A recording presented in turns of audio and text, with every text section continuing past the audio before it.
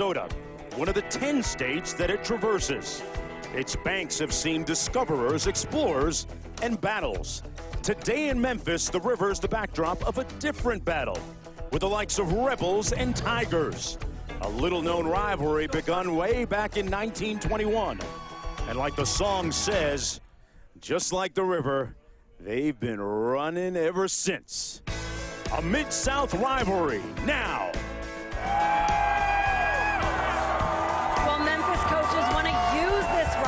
To prove their program's progression. But like Dusty said, there is no love lost between these two schools, as you can tell by the nonstop booing during warm-ups. They're just an hour 20 apart. They recruit the same area, and the Rebels' largest alumni base is here in Memphis. A lot of bulletin board material here, guys. An Ole Miss player even calling the Tigers their little brother. The Rebels head coach Matt Luke told us that from his two new coordinators to his whole team who heard that they're the underdog, there's a big chip on their shoulder. They can't kick this one off soon enough. Hey, Olivia, little brother, perceived little brother, looking to get some hits in on Coach Luke and Big Brother here this afternoon. Memphis won the coin toss, deferring to the second half. Moore and Ealy back deep for Ole Miss.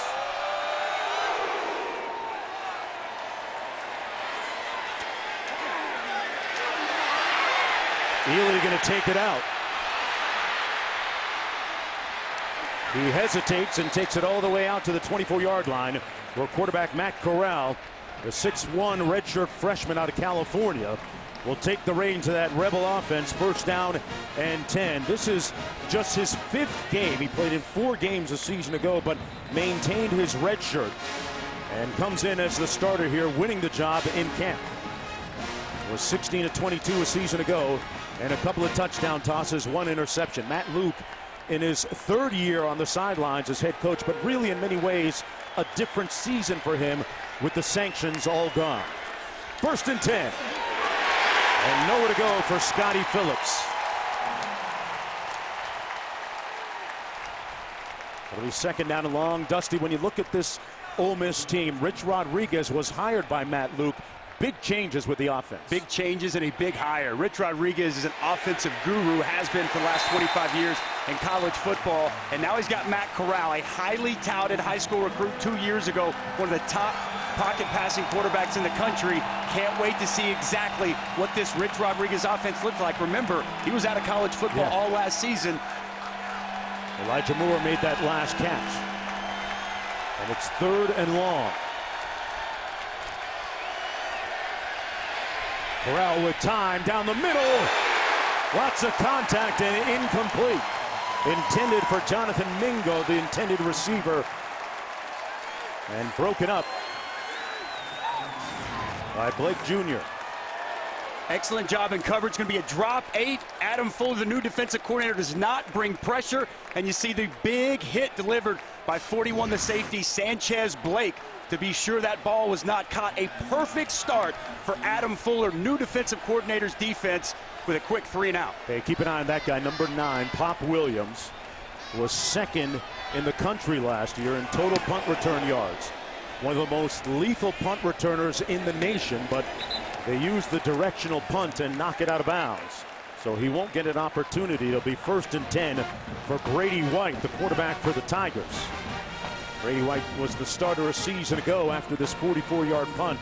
Second year starter, 15 pounds heavier, and maybe more importantly, Dusty, he feels more at ease with his teammates. And now they have new coordinators too, the Memphis Tigers do. Absolutely, but it stays the same on offense. Mike Norvell is the offensive coordinator. He calls the plays. This is his scheme. And you're right, Brady White kind of thrust into this role last year. Now he's become a much better team leader, better communicator, and overall this team believes in him more this season. And he chucks it here to Coxie on first down. And Coxie picks up about six. It'll be second down and four.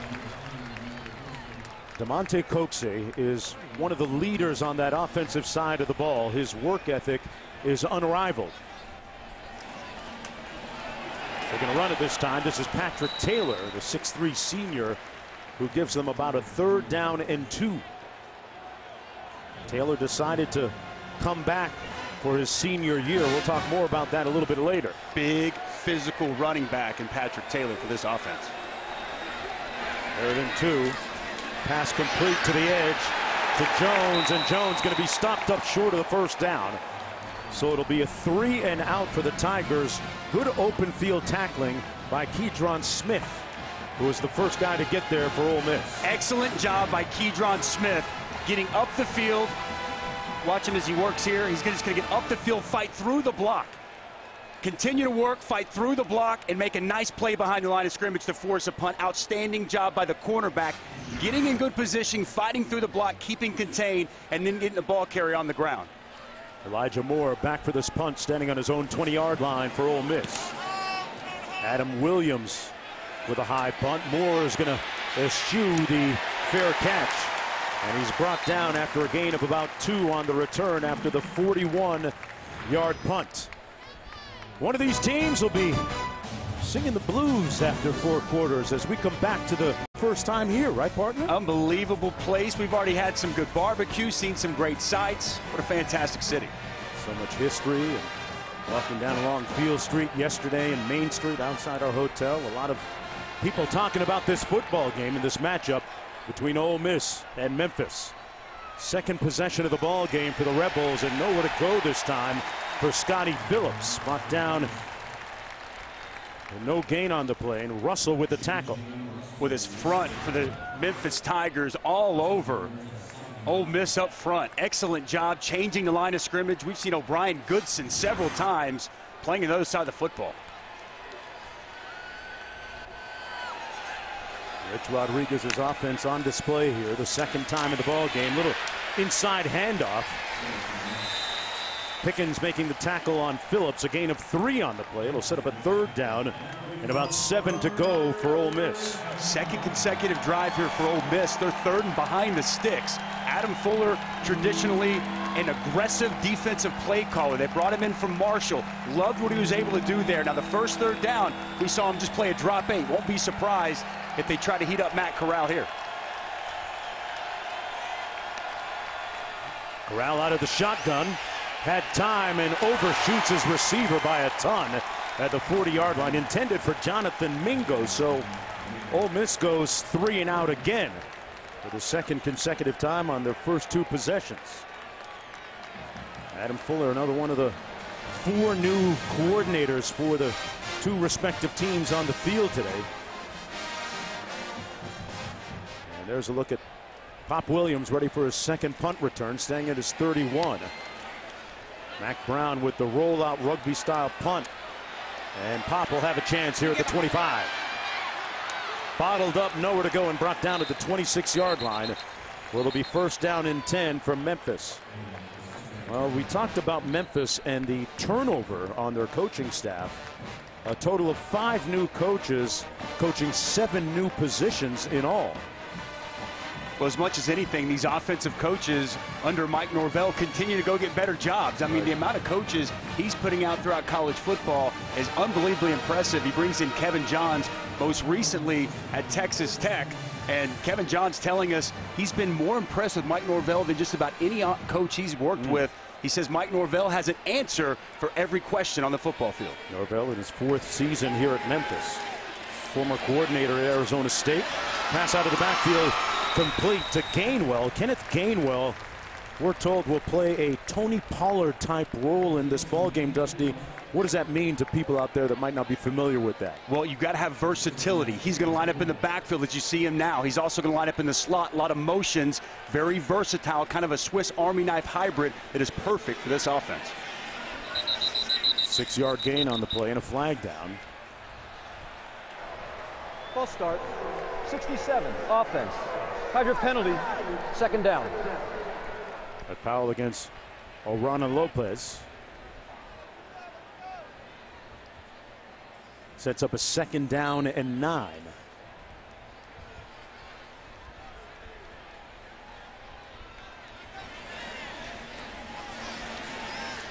Pass complete out of the backfield to Gainwell again. Drew a lot of attention, but broke the tackle running hard to pick up the first first down of the ball game. He ran right over and through Sam Williams, one of those highly touted linebackers. Anytime someone mentioned Kenny Gainwell, their eyes lit up. You could just tell everyone's so excited to see exactly what this guy can do in the field. And you saw there breaking tackles and picking up a big first down. And they go quick, playing that tempo game. Downfield, open. Did he keep his feet in bounds? No. Kadarian Jones couldn't make the catch. But let's go back to Kenneth Gainwell on that last play. Excellent pass catcher, and when he gets the football in his hands, watch out. Watch the balance here. Fights through that low pad leverage as he fights for the first down. A young man that played in four games last year. They were so loaded at running back. Remember, Darrell Henderson, Tony Pollard, Patrick Taylor, and Mike Norvell didn't want to redshirt him, yeah. but he thought, man, I've got these guys. Let's just play him four games and have him for four more years. They expect big things this year and throughout his career from Kenneth Gainwell. They expect a high usage rate for him this afternoon. And as I say that, he catches another pass and picks up about nine. It'll be second down and short for the Memphis Tigers. And Brady White seems to be in a nice little rhythm here now, Dusty. Getting the ball out quick, finding his one of going to be one of his favorite targets out of the backfield. You see now Gainwell lined up in the slot. Watch for this to Coxie down here at the bottom. Coxie number 10, the long rangy receiver. He makes the catch on the receiver screen. A lot of attention and nowhere to go. The Rebels reading that one. Sam Williams was the first one to get there. A junior college transfer out of Northeast Mississippi Community College. Anytime you see Magnifico lined up in front of Coxie, watch for the screen. They like Magnifico being able to block. But once again, it's Keidron Smith fighting through the block of the tight end to make the play initially in the backfield. we saw what happened after that. There was a flag on the play as well against Ole Miss a face mask. And that gives them a first down all the way to the 40 yard line. The face mask was on Sam Williams, who was the first tackler there. They were high on Sam Williams, said he freak athlete and got his hand up in the face mask. That's a costly, costly penalty for this Ole Miss defense. Mike McIntyre can't be happy. They've done enough to get off the field. Penalty extended the drive. False start. 67. Offense. Five yard penalty. First down. That's the second penalty on him. Well, tonight, Heisman hopeful Justin Herbert and number 11 Oregon squaring off against the Stout this year. They've got some strong teams looking pretty good in terms of their prospects early this year. Oregon one of them. Running play, Patrick Taylor stopped up right at the line of scrimmage by Benito Jones, who we had a nice visit with yesterday. He was a former freshman All-American, former Mississippi High School Player of the Year. Dusty, with a name like Jones, you know he can ball, right? man, it's all business. Big man. You could tell yesterday he's looking to show up today and this entire season. Veteran guy, played a lot of football. Excellent first step. Good job with his hands getting off the block. On second down and 14, a gain of about three on the play. Benito Jones from Waynesboro, Mississippi. I asked him how many stoplights are in the tiny town of Waynesboro. He guessed about five or six. So I'm going to get on Google Maps and look that up a little bit later. Small town, but big game. Benito Jones. Third and long. Memphis on Mississippi side of midfield. The handoff and a great cutback by Taylor. Close to the first down. Let's see where they spot it. They may have given him the first down. He ran over Linton at the end of that run. It looks like he may have gotten it. I like the feel and the vision from Patrick Taylor. He starts it right, he press it, look at him put the foot in the ground and go back this way. He sees the cut right off his offensive lineman, and then it's sheer power, lowers the shoulder, and fights for the first down. Well, he knew where that marker was. Norvell said he wants to get him the ball about 25 times a game this year. And a little early movement on the right side of that offensive line by Memphis. That's going to be their third penalty. It looked like Magnifico was not so magnificent. False start. 86. Offense. Five-yard penalty. Remains first down. This is what coaches worry about, right, Jonesy? First game, those pre-snap penalties, those small mistakes. Mike Norvell can't be happy with what he's seen so far with the laundry on the field early from his team. 7.45 to go in the first quarter. Tigers were eight and five a season ago. Norvell going up against Mike McIntyre, the defensive coordinator for the Rebels. White has time underneath Coxie with the catch. And everybody running the ball for Mississippi, making the tackle. What do you make of Mike McIntyre and his philosophy defensively on a defense that really needed help after last year? I loved what he said to us. Knowledge equals confidence equals playing fast. He got that from the great Bill Parcells. He's tried to simplify some things to allow his players to go out and play at a faster pace. Smith completes another one. Williams pop makes the catch. Talked about their rather porous defense, very pliant defense a season ago. Those rankings, simply put, were not very good. Yeah, and, and Mike McIntyre is a stickler for the details. Attention to details is what Matt Luke pointed to, and they've got a great relationship going all the way back to 1998. They trust each other, and I'd be shocked if this defense isn't much improved this season under the guidance of Mike McIntyre. Former head coach at Colorado, and prior to that at San Jose State, where he did a great job. Third and 17 under heat. Smith got rid of it just in time. And Taylor bottled up at about the 32-yard line, but another flag down all the way back at the 47. Foul, roughing the passer. Driving his body into the ground to punish his opponent. Number 13 of the defense. Plays half the distance to the goal line. Automatic first down. Well, they were hyping Sam Williams up to us. They expected big things from him, and he's got a little bit too much juice going right now. Memphis set the screen up well, and Sam Williams has to lay off here. He's got to lay off. Well, I mean, that's, I don't know about that. I don't know. That's, I don't love that call. I'm sorry. I mean, that, to me, he could have laid off, but to me, that was fair game. I, I don't like the call.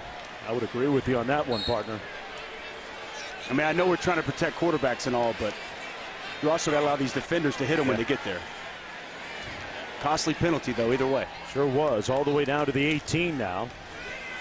And uh, this is Gainwell. Picks up the first down on a pickup of 12. And it'll be first down and goal now for the Tigers. On a drive kept alive by that penalty a moment ago. Olivia?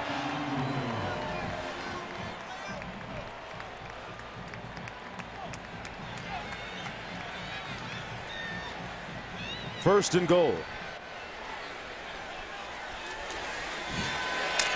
Gainwell between the tackles and just about a foot short of the end zone. This is the versatility we talked about, right? We see him out as a slot receiver. We see him motioning out. Now he's running between the tackles as a feature running back. Good start for Gainwell. This Ole Miss defense on its heels, and Smith, pardon me, White takes it in.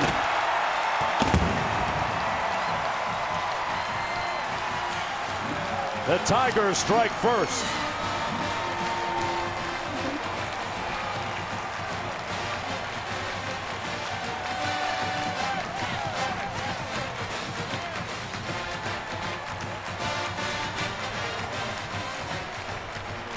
Second year starter with just his second rushing touchdown of his career. He threw for 26 a season ago. In his first year as a starter, the Arizona State transfer putting the Tigers on the board first.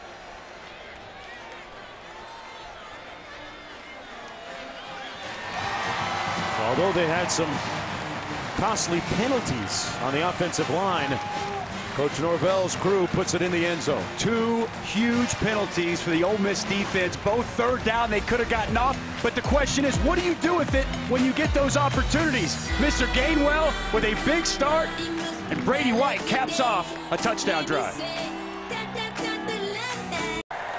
Welcome back to Memphis. The Ole Miss Rebels are taking the field on offense now, and their new offensive coordinator, Rich Rodriguez, was telling us that in his year off of coaching football, he watched a lot of football, especially NFL. He even met with some NFL teams to adapt his schedule a little bit. But guys, he's still intense. He still coaches with an edge. And he told us most of all, he's not going to sacrifice tempo. He's even teaching these kids fast. Dusty, what do you think about that? Well, this offensive line for Ole Miss has got to settle in. Memphis has taken it to him here early in the first couple series. And took it to him on that play. That's going to be a loss back to the 17-yard line. Bryce Huff He had an interesting quote when we spoke with him yesterday. We asked him, What are you going to be thinking during that first snap? He says, I want to destroy whoever I go against. He said destroy everyone. He was highly motivated. Big play there on first down. Second down and 16.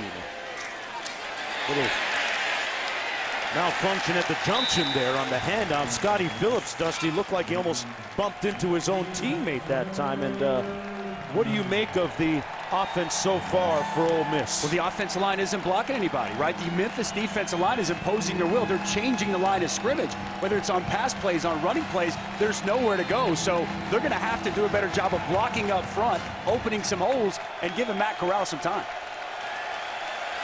Looking at a third and 15, way behind the chains here. Screens, throw something off, get the ball out quick, help this offensive line out if you're Rich Rodriguez. Corral sacked back to the 12-yard line. La'Andre Thomas got to him. They heated him up, Dusty. They did. Number 12, La'Andre Thomas. You're going to see him work right here off the edge. He's going to come up and under and beat this tackle clean. They bring pressure up under. Tackle has no chance and a big sack. Second one of that series for Matt Corral. This Memphis defense been ferocious here early. Punt goes all the way back to the 34. This is Pop Williams. Made the first wave miss. Williams in the open field. And finally brought down at the 27-yard line by Snoop Conner. So Williams getting his pop on that time. But there's a flag down all the way back at the 36-yard line. So hold on just a minute. I think this is coming back, partner. During the return, illegal block in the back. Number 36, the receiving team. 10-yard penalty, first down. Pop a little bit distraught after that penalty, which will bring this one back. But an electrifying return by Pop Williams. Right at the top of your screen. And that electrifying run, all for naught.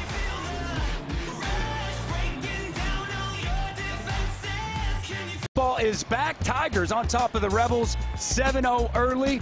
Memphis is mentioned in more songs than any other city in the world. Did you know that, Mark Jones? Over 400 times. Wow. Walking to Memphis. My favorite. I'll sing a few bars for you later if you want. Come on. yeah, come on, man, right to now. the 31-yard line. No better time than the present, right? Found my thrill. Okay. Thank you very much. Thank you. Thank you very much. Like Second and pro. Here from the home of the Blues in the Liberty Bowl. Mark Jones, Dusty Dvorak, Olivia Decker down to the field. Memphis with a 7-0 lead. And this is Patrick Taylor, brought down by Lakia Henry. Henry, one of several JUCO starters on that Ole Miss defense. Dusty, how tough is that adjustment coming from junior college to major Division One FBS football? Well, it hasn't been tough for these guys. Three different guys have stepped in and started right away. And Lakia Henry, he just showed up in fall camp and already inserted himself into this starting lineup. They are very excited about John Haynes, Lakia, Lakia Henry, and Sam Williams. Brady White under duress and brought down, but a yard short of that first down marker by Henry once again. Consecutive tackles by the number one JUCO inside linebacker out of Dodge City Community College a season ago. And Mike Norvell decides he's going to punt. Nice job by Momo Sanogo getting the initial pressure. Brady White was able to evade that, but excellent pursuit to the football. Once again, Lakia Henry making his presence felt on that series. Nice stop for this Ole Miss defense. Rollout kick. Moore fields it cleanly at the 21. And surrounded, engulfed, and brought down at the 23-yard line. 44-yard punt, nothing on the return. And folks, this season, for every field goal and extra point made by participating universities, Allstate will make a contribution to the university's General Scholarship Fund. Thank you, Allstate. Under a benevolent sky here at the Liberty Bowl. 131 to go here in the first quarter. I'll tell you a guy who I want to see get involved right now. Jerrion Ealy, true freshman. We heard explosive, dynamic playmaker. They want to get him the ball in space. Get him the ball out in space. They're running into a brick wall up front. Jerrion Ealy needs to be featured in this series. You see those prolific numbers from a year ago, but that's with a couple of high round draft choices from the NFL now departed. That was Ealy, the guy you were just referring to, the true freshman out of Walnut Grove, Mississippi, brought down by Cole Mashburn. What a job this Memphis defense has done so far. You know, Adam Fuller was brought in. He, he was an outstanding defensive coordinator at Marshall, top 30 defense in 30 different categories. Mike Norvell loves this guy. One of only three teams in college football not to allow a 100-yard rusher, and they're showing up for him today. Corral in the seam, caught, hung on to it, and we might have a spearing call as Elijah Moore took a hit from La'Andre Thomas. We'll have to take a look at this, but it, uh, on first glance from up here in the booth, it sure looked like helmet-to-helmet contact, and I would guess it's going to be a targeting yeah, call. Yeah.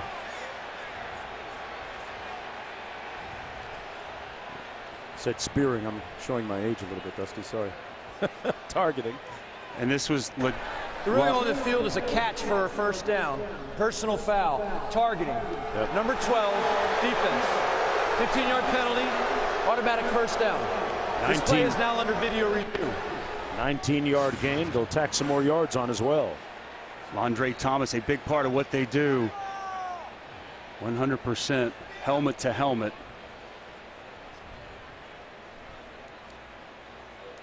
Uh, that's, I think that's going to result in a disqualification.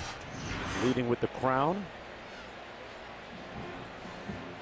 Here's a look at the rules. Ruling must be confirmed or overturned.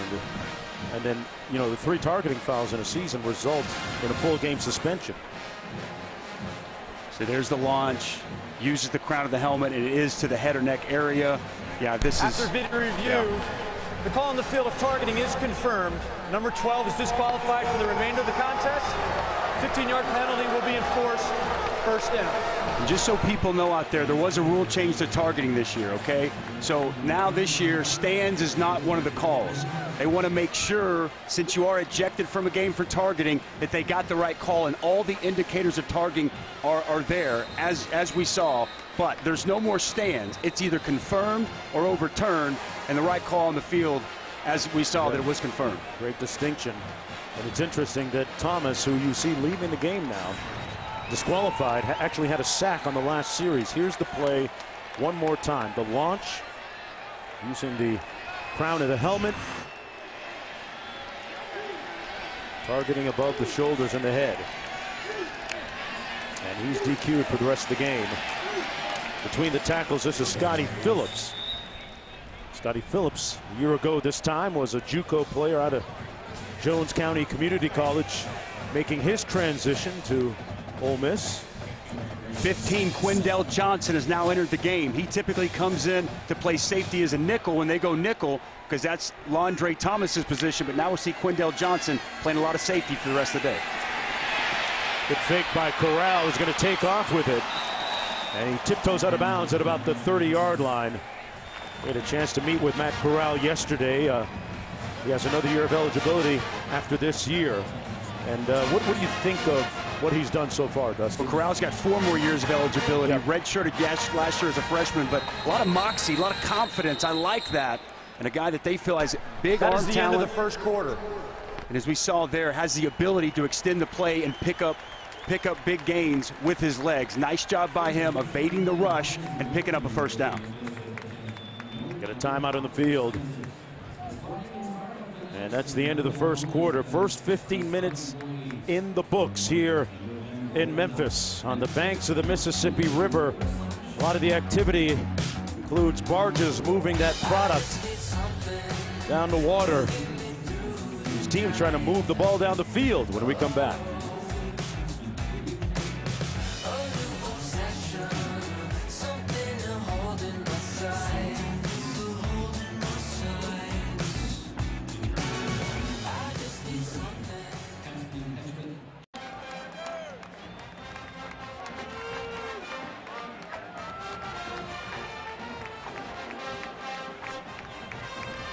Mike Norvell, head coach of Memphis on the left, and Matt Luke, head coach of the Rebels on the right. Both these teams uh, suffering from some self-inflicted wounds at various times. Right now, though, Ole Miss with the football and making a move. Scottie Phillips on the carry. No gain. Well, penalties have been one of the major storylines of that first quarter. Think about the Memphis touchdown drive. Two 15-yard penalties on third down to help extend that drive. There was a big penalty on Memphis when they had a big punt return, and then we saw the targeting penalty to help this drive along down the field. Early in the season, a lot of youth and experience, and we're seeing that first game jitters rear its ugly head. 67, offense, five-yard penalty, second down. That's against Alex Givens on the offensive line. So many new faces. You look for leadership, Dusty. Matt Corral letting Elijah Moore know, I want you to motion, but Alex Givens, the right tackle, he's got experience. False start. On second and 16, Corral threw back against his body, across his body, and dangerously in and out of the hands of the defender, Cullins, who almost set himself an easy one. So in a blink, it'll be third down and 16. Last time on the third down, we saw Adam Fuller heat him up, bring some pressure. Maybe a good time for a potential screen here.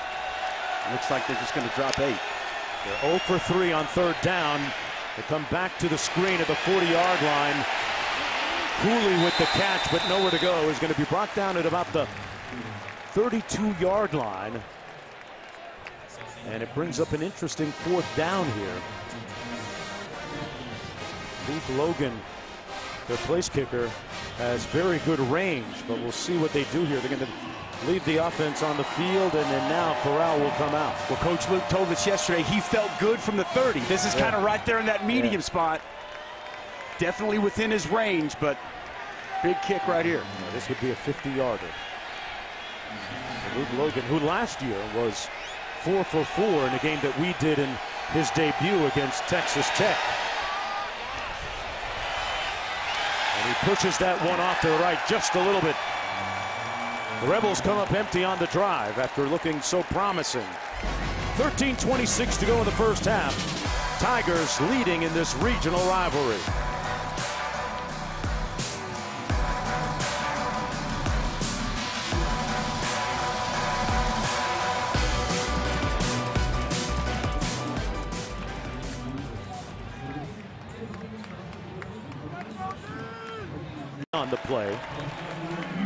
A nice block on that offensive line, which is featuring three new starters this year.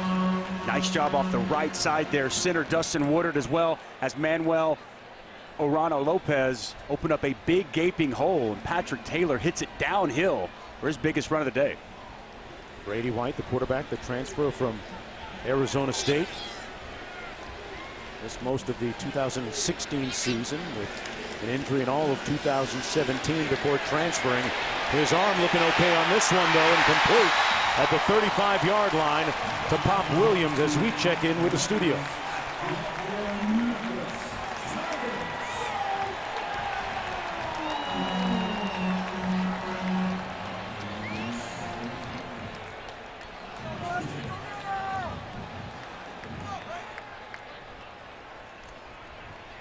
All right, Cassidy. First down and 10 from the 40-yard line. Brady White's history with head coach Mike Norvell go back to their days together at Arizona State. They were bringing a little bit of pressure, and Patrick Taylor made the catch, but was bottled up immediately. Brought down by Tariqious Tisdale. And this week's college football playoff rankings are brought to you by Chick-fil-A. I saw Ohio State on the update a moment ago, taking on Florida Atlantic and leading big 28 nothing. What'd you make of uh, the Clemson game? They're really, really, really good again. I mean, what do you say? And Justin Fields, I'm impressed by that start by him. What a debut in the shoe. A lot of flags today, Jonesy. Yes, yes. This game very uh, typical of an opening week game. Start. 67. Offense. Five yard penalty. Second down. Guys, when Brady White got here last season, he told us he didn't know a single person besides his head coach, Mike Norvell. They go way back, but not this year. This year, he is friends. He is close with these guys. They come over. It's been fun watching him on the sideline because he's so calm and comfortable, and they put more on his plate this year. He handles all the protections and run checks.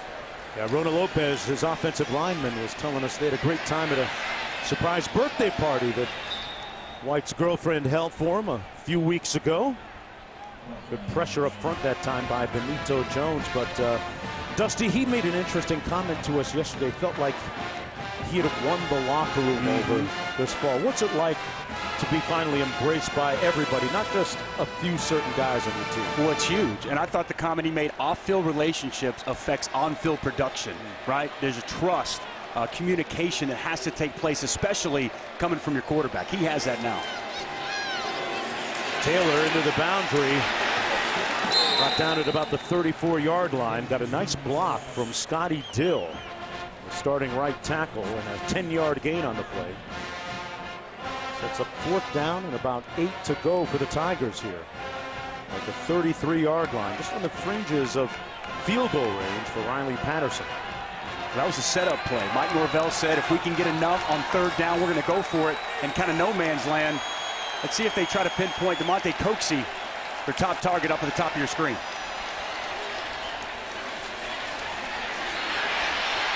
White under heat and got rid of it. He was outside the pocket and the ball appeared to go beyond the line of scrimmage, so no intentional grounding, but good heat from Sam Williams and Ryder Anderson. And that's going to be Ole Miss now taking over on downs.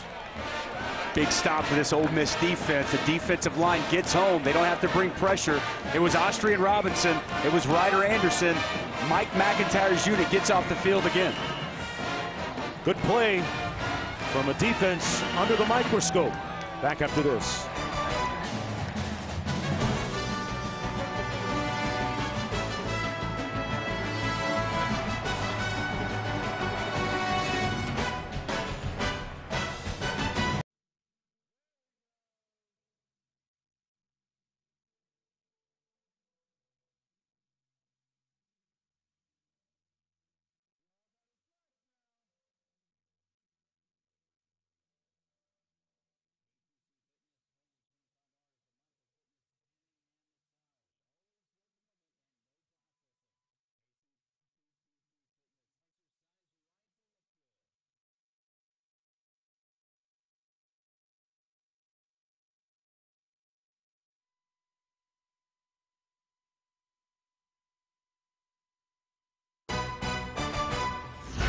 College football on ABC is brought to you by Pacific Life. 150 years strong. Protection and retirement solutions for your future.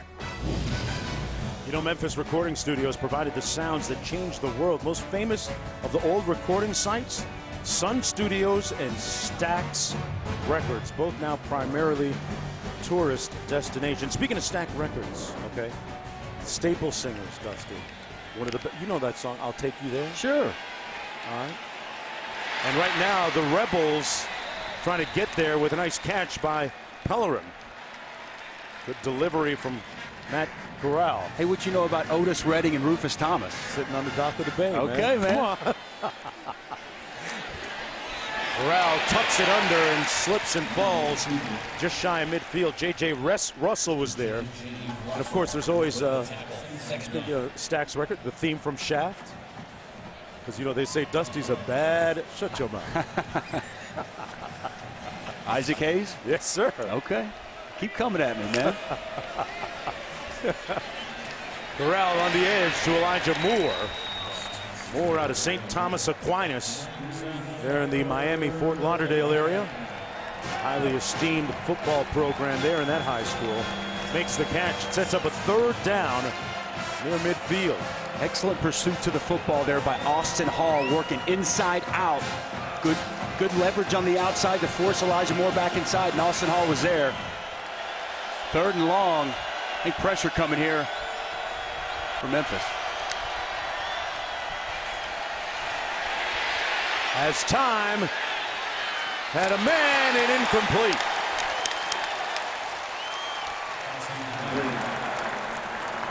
Broke it up.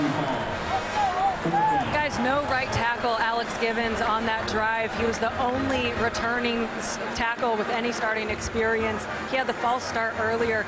They weren't even sure if he was going to join them for this game because he had back surgery as recently as July and just joined the team this week at practice. So he's on a 40 snap count, but they're holding him out for now. I've been watching him warm up and stretch a lot. They need a little help on that offensive line. Pop Williams calls for the fair catch inside the 10-yard line at about the 8. Pinned deep, 92 yards away after that 43-yard punt. College football is back, and we'll be back after this.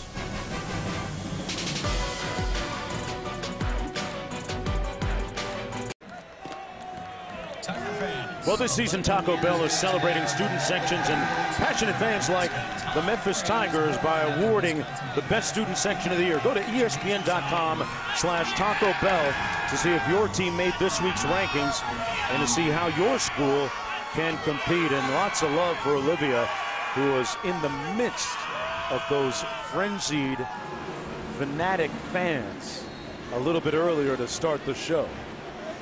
Okay, it was a ton of fun up there, you guys. All I told them before, I said, nothing inappropriate, please. This is on ABC. But they were really, really warm and loving, so that was a lot of fun. Yeah, these college football fans in this part of the country, always respectful and always doing it right. Pass complete to Patrick Taylor. And Taylor knocked out of bounds. Taylor Dusty, what do you make of his decision to come back to school this year? It was kind of a controversial one in some senses when you look at what he sacrificed. I like it, man. I mean, look, he said he wanted to be the man, right? He had to get behind Darrell Henderson. This is why he came back. Boom! He wanted to show he could be the man, the power he has with that stiff arm. And I think he is primed to have a huge season for this Memphis offense. Makes a catch out of the backfield. Got a good kick out block, but he's brought down at about the 13-yard line. He did a great projection from the NFL advisory board too, right? Well, remember, Darrell Henderson was here, had over 1,900 yards. You also had Tony Pollard, who's that versatile back. People forget that Patrick Taylor had over 1,100 yards and 12 touchdowns, but he wanted more, right? He wants more out of his career. He wants to finish on a higher note, and I think as high as his draft uh, projection was last year, he can make that even higher with a strong season, senior season.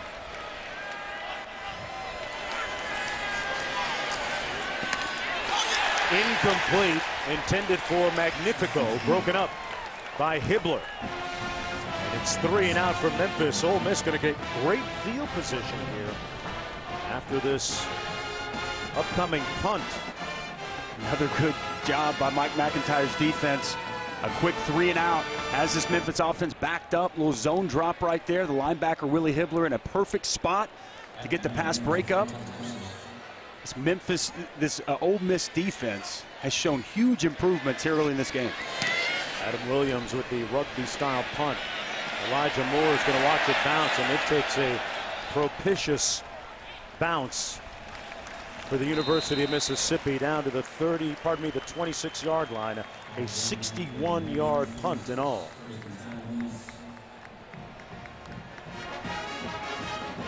Adam Fuller, the defensive coordinator, Mike Norvell handpicked and brought in.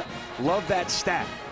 One of only a few teams in all of college football not to allow a 100-yard rusher, and it's coming to fruition today. Ole Miss, 11 rushes, not a single yard on the ground. Mike Norvell wanted to see improvement in his defense, and he's seen that and some here early on. Guys, Adam Fuller also, when he got off the phone with Mike Norvell, first thing he did was tell his wife, what a great guy. Well, Mike Norvell did the same thing. He told his wife, I hope I sounded like that anytime I was up for a job. They've been close since, and it's working. Got some chemistry, Olivia. A pass incomplete at the 35-yard line. No flag intended for Elijah Moore. And broke it up nicely in the secondary.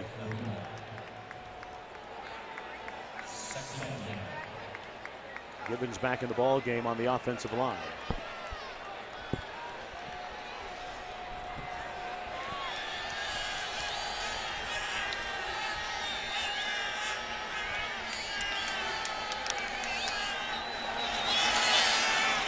Trying to get him on the out and up. And picked off at midfield. Well read by Quindell Johnson, who's in for Thomas, who was ejected earlier in the game because of targeting. It was an outstanding job by Quindell Johnson coming over the top, but I'm not so sure that the cornerback, Joey Bryant, didn't get away with the grab. On the double move initially, he's beat. He grabs the receiver, and the receiver not able to get there. Take a look at this outside. Up top, guys, what I want to show you. This is where we're looking, okay? Watch the double move. See the grab there? Grabs him by the waist. Okay, and that doesn't allow the receiver to go make the play. So I think that's a missed call by the official.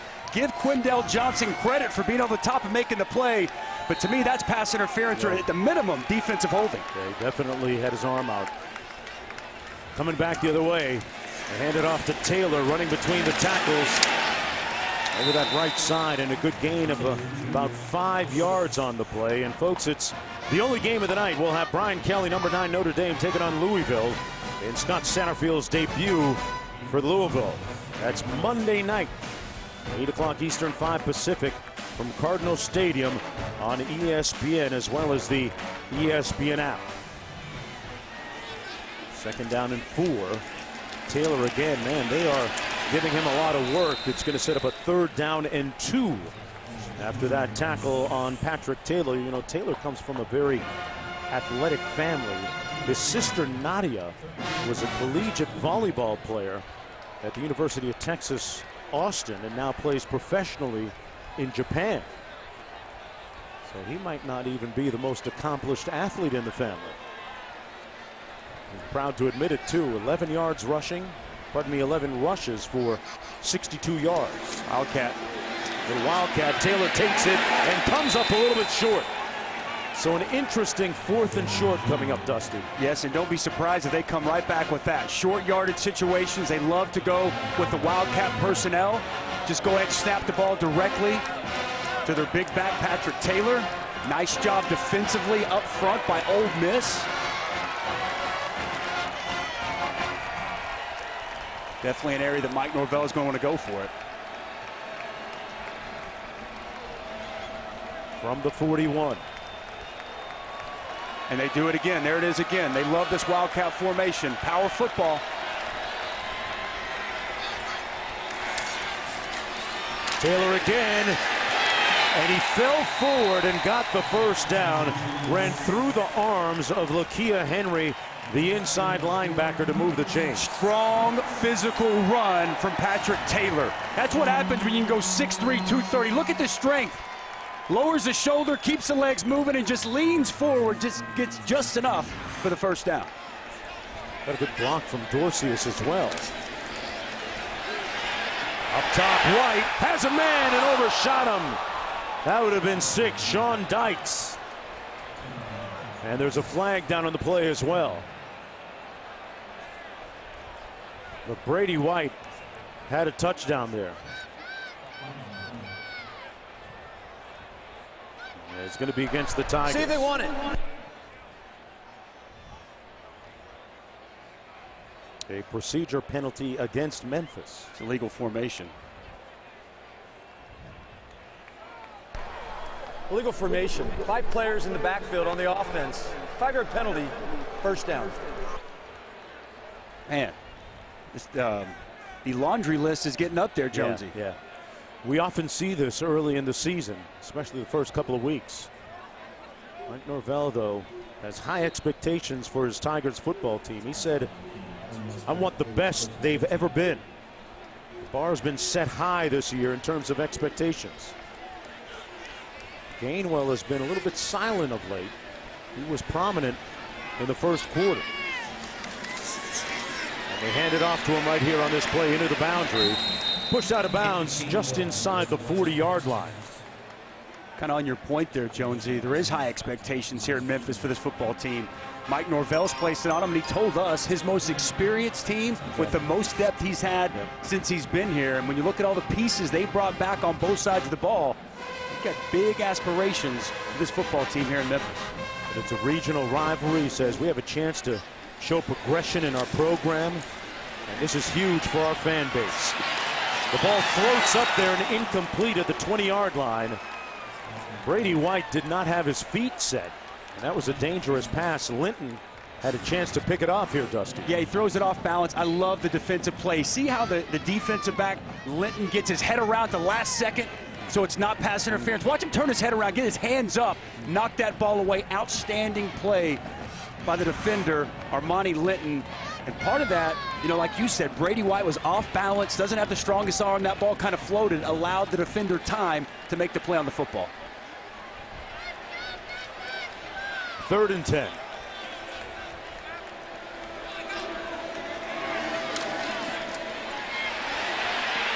And White wisely throws it out of bounds. They looked a little disconcerted and discombobulated on that play, and Mike Norvell incensed on the sidelines. Good inside pressure there from the Ole Miss defensive line. Forced Brady White to move off his spot, roll out, not one of his strong suits. He felt the pressure bearing down, just throws it away. Another good stop for this Ole Miss defense. You think about it, after a turnover. First charge time out of the half, Ole Miss. After yep. a turnover and getting Oh, back in Memphis. Mark Jones, Dusty Dvoracek, and let's see what the official rules on this. They're going to say it's a touchback on the punt. Great effort there, though, by the Tigers special teams. Well, here in Memphis, this is one of the top food towns in the entire country. Mm -hmm. The ruling on the field is the first kicker was able to bat the, the loose ball back into the field of play where it was down by a teammate. You heard the ruling. Kansas City got their type of barbecue, but Memphis, Memphis got that dry rub thing going, Dusty. You know, we went to Central Barbecue yesterday, and I had some smoked wings with a dry rub on it. Man, I'm going to tell you what, yeah. off the charts. Yeah. Off the charts. Austin comes in and one of the more distinguished sauce places and barbecue spots. They, they should have my pops on there. Dennis Dvoracek, man. I'm going to tell you what Oh, now, he got some? I'll put his barbecue up against about anybody. I'll have to bring you some before the year's Please do. Corral firing wide at the 37-yard line, intended for DeMarcus Gregory. You know, that's, a, that's an easy completion, right? They set up the bootleg. He gets outside the pocket. He Corral's not under duress. He's got a wide open target, and he just misfires. That's a throw he needs to be able to consistently make when he doesn't have pressure in his face and he's got an open target down the field. Second down and 10. Corral on the run again and almost corralled and sacked, but got rid of it in time. It's going to be third and long. Folks, today WBA and WBO lightweight champ Vasily Lomachenko puts his belts on the line against England's Olympic gold medalist Luke Campbell with a vacant WBC title and also up for grabs. This 12-round unification bout is on ESPN Plus in English and Spanish at 4 Eastern, 1 Pacific from O2 Arena in London. Order the main card, go to espnplus.com slash top rank. Corral sacked back at the 17.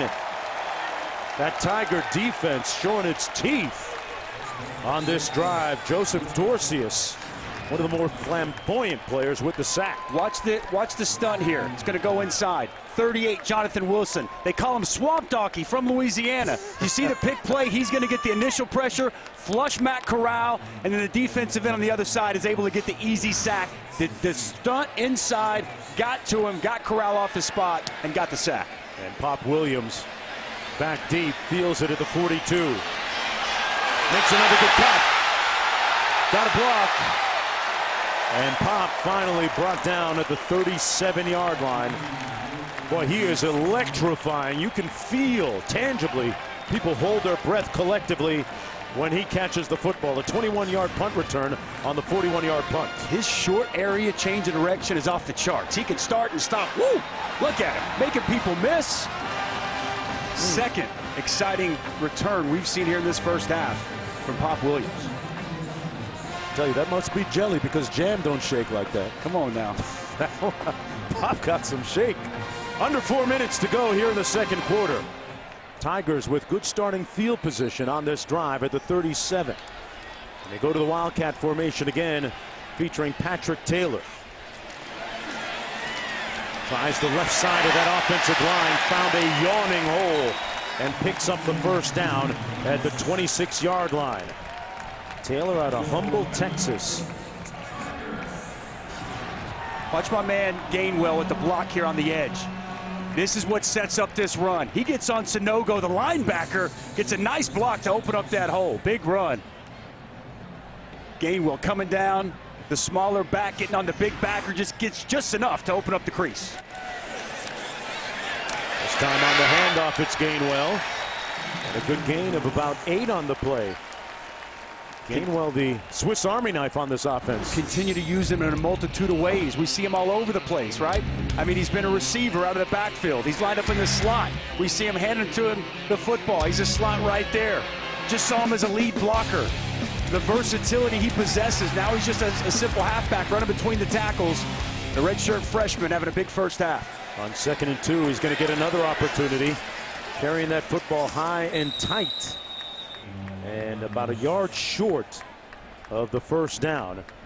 Gainwell playing that Tony Pollard role and doing a great impersonation of him so far, Dusty. Don't want to put too much on the young man, but Mike Norvell said if he continues to progress, he can wind up being potentially one of the best to ever play running back at this great school. On third and one, Taylor, first and goal Tigers.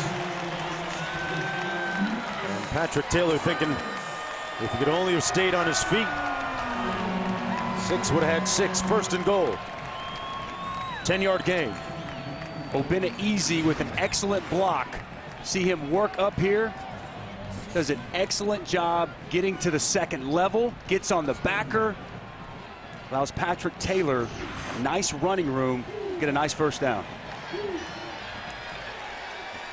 Running behind some big offensive linemen into the boundary.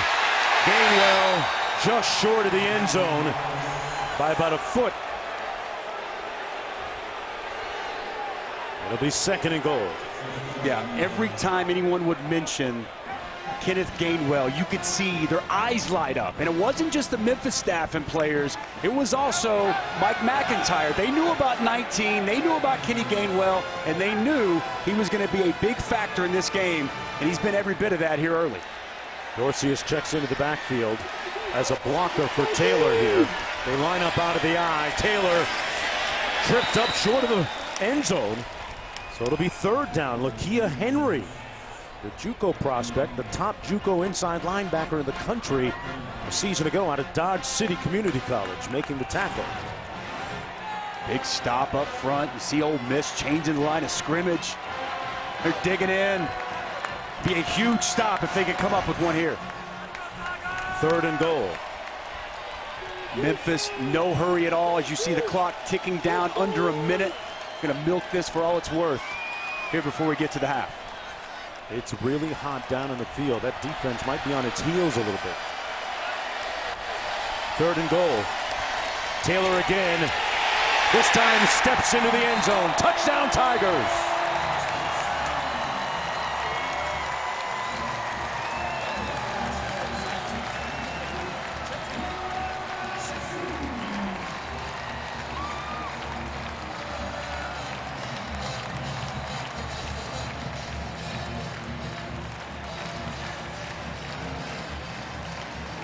Patrick Taylor with his 17th rushing touchdown of his career. Running through the arms of Lakia Henry that time, unlike the previous play. And Memphis up 13 to nothing with 40 seconds to go here in the first half. This is an American Conference team against an SEC team, and the extra point is no good. It bounces off the upright. And it remains 13 to nothing. Another early season miscue. Pushed it off to the right. Wasn't expecting to see that. One more time from Patrick Taylor. Again, 6'3". He goes about 230. Power, physical runner. And Lakia Henry, he meets him right at the goal line. So does Sanogo. But the power, the pad leverage as he gets down. Patrick Taylor powers through and works his way into the end zone. You see the physicality from the Memphis offensive line. That's against an SEC front, right? That's against an SEC defensive line. And Memphis has been able to have their way 17 for 87 and that touchdown in the first half for Patrick Taylor.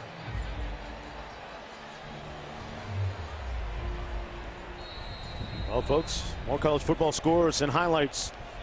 Stay tuned for the State Farm halftime report coming up at the break with 40 seconds to go here in the first quarter.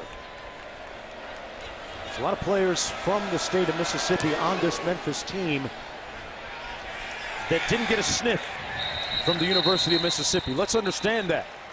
And that plays to a player's sense of self-respect and pride because at some point the reason why they're on the field dusty you know better than anybody you're competitive and when the school from your state doesn't send you that recruiting letter doesn't come to watch your games doesn't offer you that's an automatic chip at least on one shoulder right When you get that crack at that team, you're going to make the most of it. You know what I mean? Whether or not it's something you worry about day in, day out, when you get that opportunity to show that program what they missed out on, you make the most of it. And we've seen that here so far from the Memphis Tigers. Memphis the only non-power five team to be listed as a favorite in every game under schedule this year. Of course, that UCF game looms large. Ealy on the carry. They run the ball with a 13 0 deficit. Third year on the sidelines for Matt Luke, former offensive lineman at the University of Mississippi, former interim head coach. This is a big year for him. Big year for him, and he made a couple of great hires. Now, this is the first year since he's been there they've got to 80, back to 85 scholarships, right? They had 31 guys on National Signing Day. They're a very young, inexperienced team. And I think throughout the course of the season, we're going to see it's a team that gets better and better. We'll Check Olivia Decker down in the field joining us in just a bit. It seems like, Dusty, so far that the Rebels have adjusted to that change better than their opponents today. I think it's been Memphis who's adjusted to that change. Adam Fuller in this Right. defense has been outstanding so far, and that's what Mike Norvell brought him in for. And when you look at what they've been able to do, negative one rushing yards for this Ole Miss offense. I mean, it's been unbelievable. They've winning the line of scrimmage at an unbelievably high clip. It's been very impressive. Just 42 total yards for Ole Miss. They can't get Memphis blocked up front. Memphis isn't doing themselves any favors. They've had seven penalties for 50 yards, but it doesn't matter. That defense was ferocious in the first half. Ole Miss still yet to convert on a third down, and that's the defensive coordinator Adam Fuller has to love what he's seen in this first half. Yeah, Memphis has adjusted better to the change. This is Kenneth Gainwell, who had a very productive first half, stopped cold at the 20-yard line. Olivia, what's up? Matt Luke told me he just has to get his guys to settle down. They're just so young, and he's calling upon his leaders. One of those is just a redshirt freshman in his first start, quarterback Matt Corral. I did see Corral give every player on offense a high five on their way out of the tunnel, stick with them and encouraging them. One of those players that he couldn't high five is Braylon Sanders, the junior wide receiver. He was second among Rebel receivers in yards per catch last year. He's out with an injury the rest of the game. Oh boy, that's bad news. A big target. One of the guys that had really established good chemistry with Matt Corral going back to last year and even early in camp this year. Memphis with the ball to begin the second half, and they put it on the ground. Loose. I think Ole Miss It got it. appears that the Tigers they got on top of it. Jumped on the loose ball. Man, one of those huge offensive linemen, number 77, Ezebi, got on that football. Obinna Eze, what a great Wow. job by him to jump on it. That was a golden opportunity for Ole Miss to start the second half. Got to find a way to get that football. Over the middle, wide open. And a nice catch out of the backfield. Patrick Taylor showing you his receiving skills. Brady White on the delivery for 22 yards. We don't always see that from Patrick Taylor. Run a little post route, going up and getting it. The big, powerful running back, showing some agility, some nice soft hands. That's uh, one of the improvements that he wanted to make. Choosing to come back and out of the Wildcat now. Taylor taking the direct snap. He, oh, I don't think wasn't he was down. down. No. Ended up bouncing on top of the defender.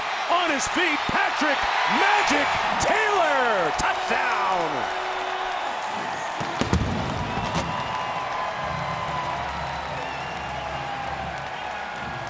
It's a little bit reminiscent of that Auburn Oregon National Yes. Championship.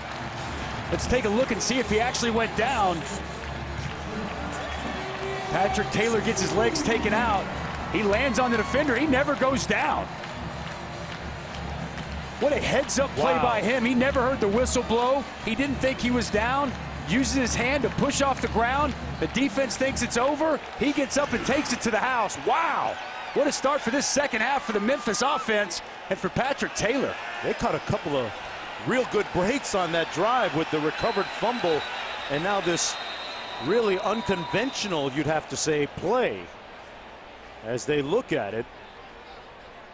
Only place it could be is if that forearm went down, but from the angle that I saw, it looked like it was his hand on the Right. ground. If his forearm hits the turf, he's ruled down. Correct, absolutely. We didn't have a good angle of it on that replay. No, from where we saw, it looked like his hand was on the ground. Clearly, his body was on top of the defender. Ole Miss is challenging a ruling on the field that the runner was not down prior to crossing the goal line. This play is now under video review. Let's take a look. Our outstanding camera crew down on the field. Sure will give us some excellent shots at this. Well, the ruling on the field is a touchdown. And there must be convincing evidence to overturn the play. Here's our look on this replay. Like his hand was down. We'll find out on the other side.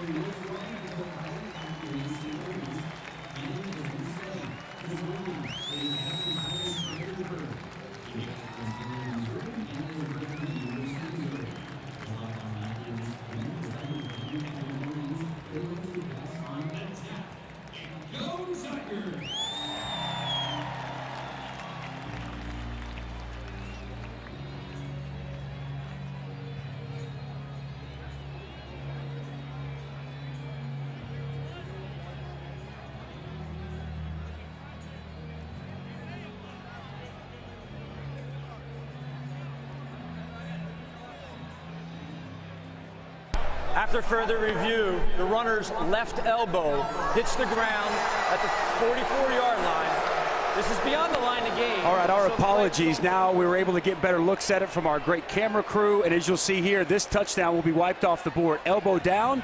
It's going to be first down for the Memphis Tigers at the 44-yard line. Yeah, he was definitely down. That was Absolutely. an angle we didn't get a chance to see prior to going to commercial break. So, indisputable video evidence. They overturn it. And it all depends on your vantage point on the field. Therein lies the beauty of replay, where what really matters is getting it right. Second Absolutely. down- Second down and seven. Wow, Dustin Woodard, that's a huge center loss. for the Tigers, is off the field and got a new center snapping the ball. We'll have to see what happens here. On this initial exchange. And snap. The quarterback Brady White.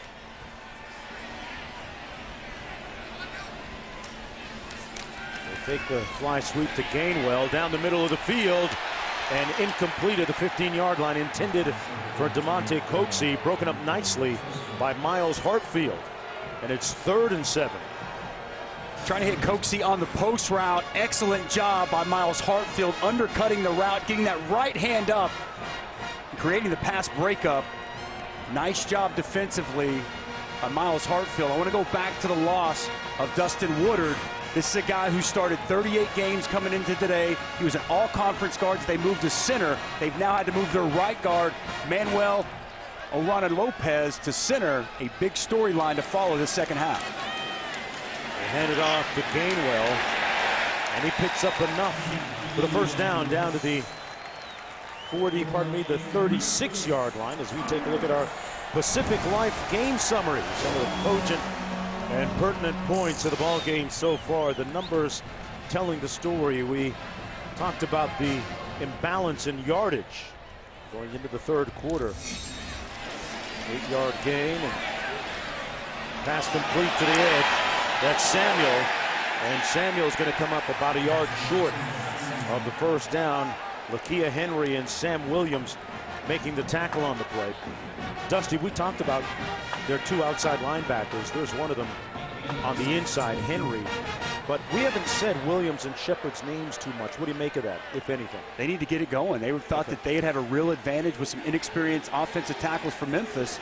And to your point, they've made little to no impact in this game so far. Second down and two.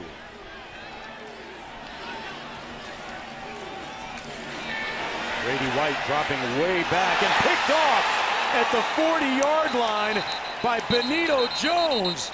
The big fellow showing some hands. And we got some flags on the field. The ruling on the field is the ball has been intercepted. Holding, number 19 of the offense, his penalties decline. First down. Benito Jones, preseason All-SEC with a huge play for the Rebels. Wow, what a big spot there for Benito Jones to step up. The senior, the defense needed to play, and he did it. Here's a vantage point from the quarterback. He's trying to set the screen up. As you see, running back gets pulled to the ground, and Benito Jones, little one-handed grab. He went down with the right. Athletic move by the big nose tackle, Benito Jones. Huge play Huge play for this Ole Miss defense. I love the way he just jogged off the field like, yeah, that's what I do. that's what I do. Preseason all-conference. See if Mississippi can convert, get some points out of this turnover. Nice run out of bounds near midfield by Scottie Phillips picked up 16 yards. Excellent job blocking on the perimeter. Ontario Drummond 11 and 8 Elijah Moore. Scottie Phillips is a name we haven't said enough today. Got big aspirations for him. His biggest run of the day. V2 preseason All SEC 13. Moore in motion. They give it to Phillips again, dancing between those tackles. A great surge up front to leave them a two yards short of the first down. Hey, tonight, Heisman hopeful quarterback Justin Herbert and number 11 Oregon squared off against the stout D of number 16 Auburn. AT&T Stadium in Arlington, Texas, 7:30 Eastern, 4:30 Pacific. You can always watch it live on the ESPN app from anywhere. And a first down run by Scottie Phillips. Who do you like in that game? I'm going to go with the Ducks. And I'll tell you what, the best matchup of the day is that Auburn defensive line, that Oregon offensive line, two of the best units in all of college football. That's going to be fun tonight. But Justin Herbert yeah. against a Bo Nix, true freshman quarterback. I'll go with the Ducks in an upset. Tonight. I'm with you on that. Mario Cristobal, the head coach, one of the top young minds in the college football coaching game right now. Jerry and Ely in the backfield. And he takes the handoff trying the left side of that offensive line down to the 33-yard line. Austin Hall making the tackle. This is this drive right here is big for Ole Miss, right? I mean, they've had nothing going in the first half. We talked about it, negative one rushing yards. We've already seen a couple of nice runs from Scottie Phillips here as they've got the football to open this second half. Need to come away with some points here to cap off this drive. Ole Miss back to 85 full scholarships. for the first time in three years. Corral with a pump fake and is brought down at about the 27-yard line. What kind of impact would you see today on the field because of those sanctions? Well, a lot of youth and inexperience, right? Because they've right. been docked scholarships. This is the first year in several years they've been able to get up to 85. That's why they've got so many young, inexperienced players. Matt, Matt Luke understands that. He embraces that, and they're working through it as we speak. Big third down. The toss into the boundary. And a great defensive play on Ealy up front by Dorceus. He was the first guy to make the hit, so it sets up a fourth down. Oh, it's a big time play by Dorceus. You're going to see him come up and make this play. Oh, outstanding job pursuing to the football. And Ole Miss understands they need points here. They're not going for the field goal. Looking to get a first down. Adam Fuller, defensive coordinator. See what kind of play he has dialed up for his defense. Play clock down to seven. Corral almost picked off at the seven-yard line. Nobody home for the Rebels. And Memphis will take over on down. Well, that's miscommunication between the cornerback, Corral, and the running back, Scottie Phillips.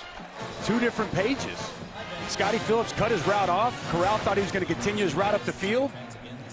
And as you see Adam Fuller, he loves what he's seeing so far from this Memphis defense. It's been a wild start to the second half.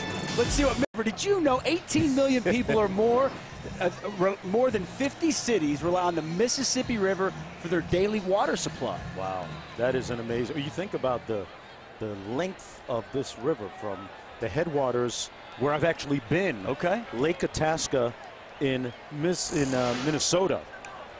And uh, it measures up against uh, some of the other well-renowned rivers in the world. I've had dinner on the River Seine in, uh, in Paris. I'm going to take the mighty Mississippi. Okay.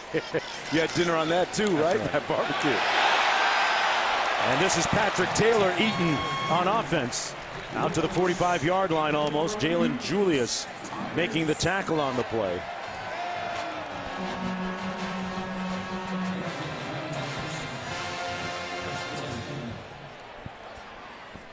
Dustin Woodard, the starting center, back in the ball game.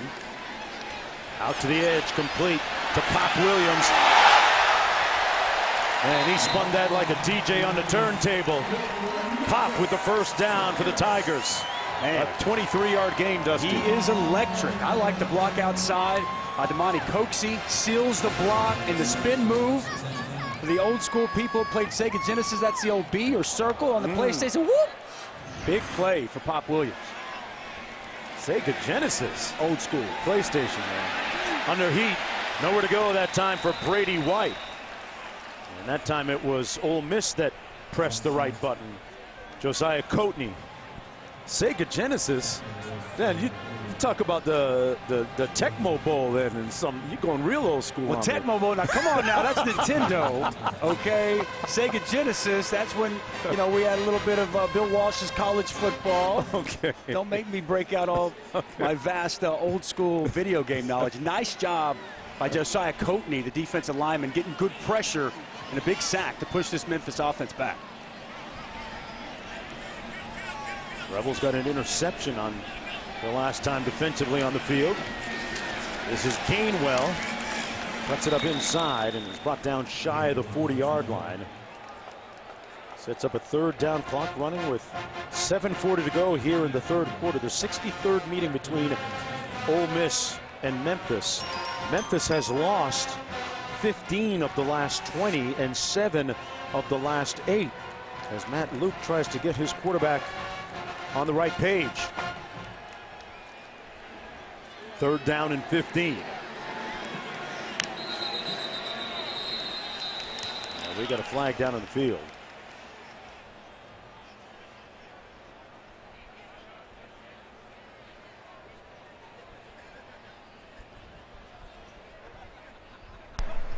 encroachment.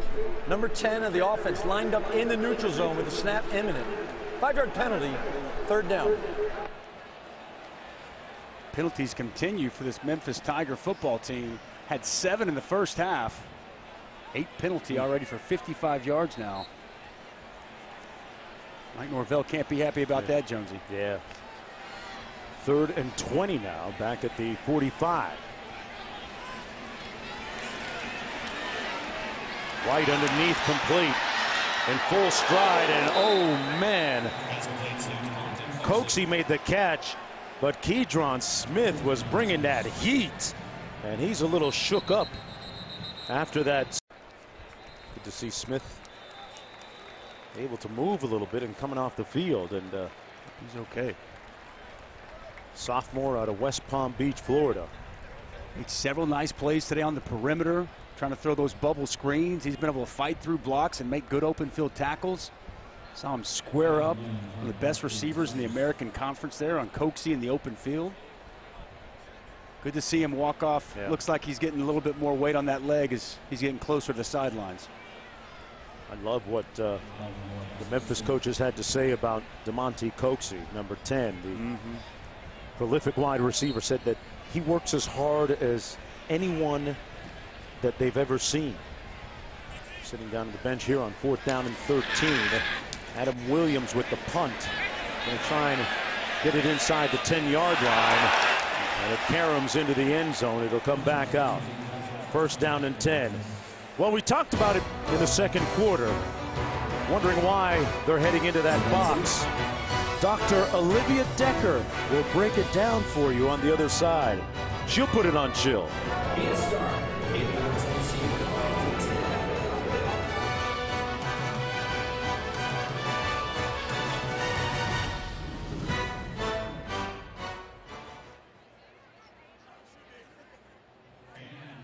The Boudreaux recovery zone, but we've been calling it the human refrigerator. It's basically what it is. About 40 players can fit in here for five minutes. It gets down to 18 degrees Fahrenheit. Memphis had two of these at their fall camp. They'll have one here today. It's also available for Ole Miss players. Olivia, 18 degrees Fahrenheit sounds pretty good to me for a little bit of time on a hot day like this. Back out to Phillips. So how does it work besides just lowering your core temperature? It helps flush your lactic acid, which is great for recovery. And it also is vasoconstricting. That basically means it flushes the blood from your skin. All of this is great, and they've been using it in the hotter practices, and they'll use it for their first couple games. Boy, that's pretty amazing when you look at the size of that. And Olivia telling us that the entire temperature goes from 18 degrees up a bunch when all those guys get in there at the same time, Dusty. Can we hop in right now? I was going to ask I- you to call a couple get- plays, like get to- me in there a little bit because I got a little lather going up here in the booth. like to lower my core temperature. Great stuff, Olivia. Second down and eight. Pass complete by Corral out to the 38-yard line. Here's what it looked like at halftime inside that box. It's great technology, and, and kudos to Memphis and other schools around college football that are using this. Really helps, you know, in, in hot situations. You want to keep the players hydrated. You want to keep their core temperatures down. Excellent job utilizing technology for the betterment of these collegiate athletes. Third and two. They are 0 for 7 on third down today.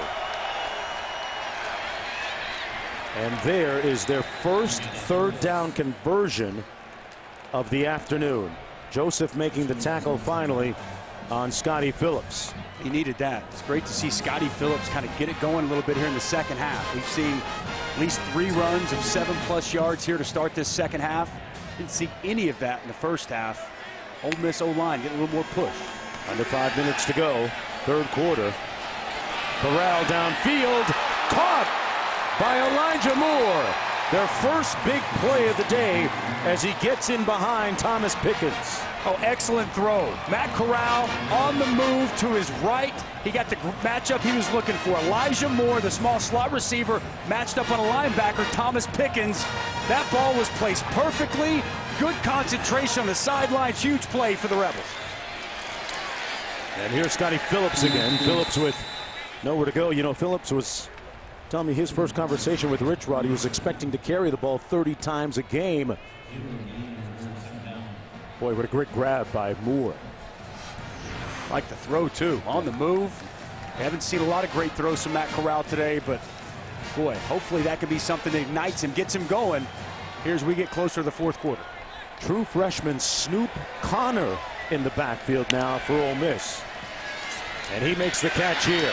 They get him in space, and Conner gets it down to the 18. Let's go back to Cassidy in the studio.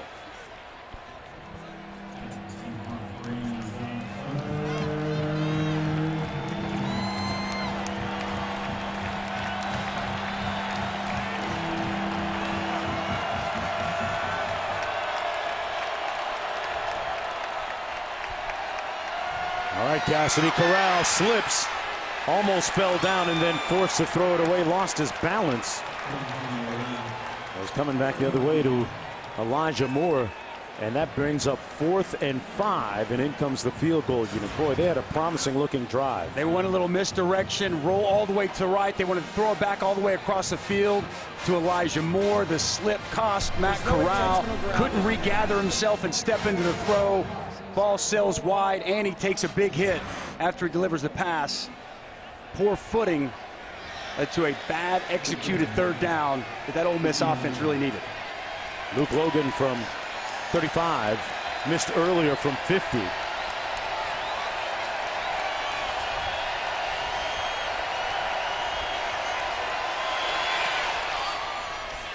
And finally, the Rebels on the board, 13 to 3 now. Their deficit with 3:11 to go in the third quarter. Our camera guys do a fantastic job throughout the course of this college football season, but it's hot for them too. They can't get in that ice box. They just got their own fans.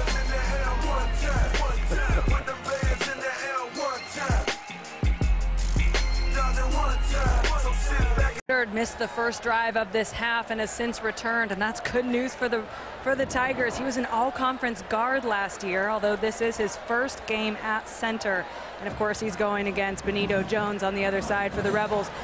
He missed the first drive because he had an issue with his right hand and I'm sorry, his left hand, and they taped it up, put on a glove.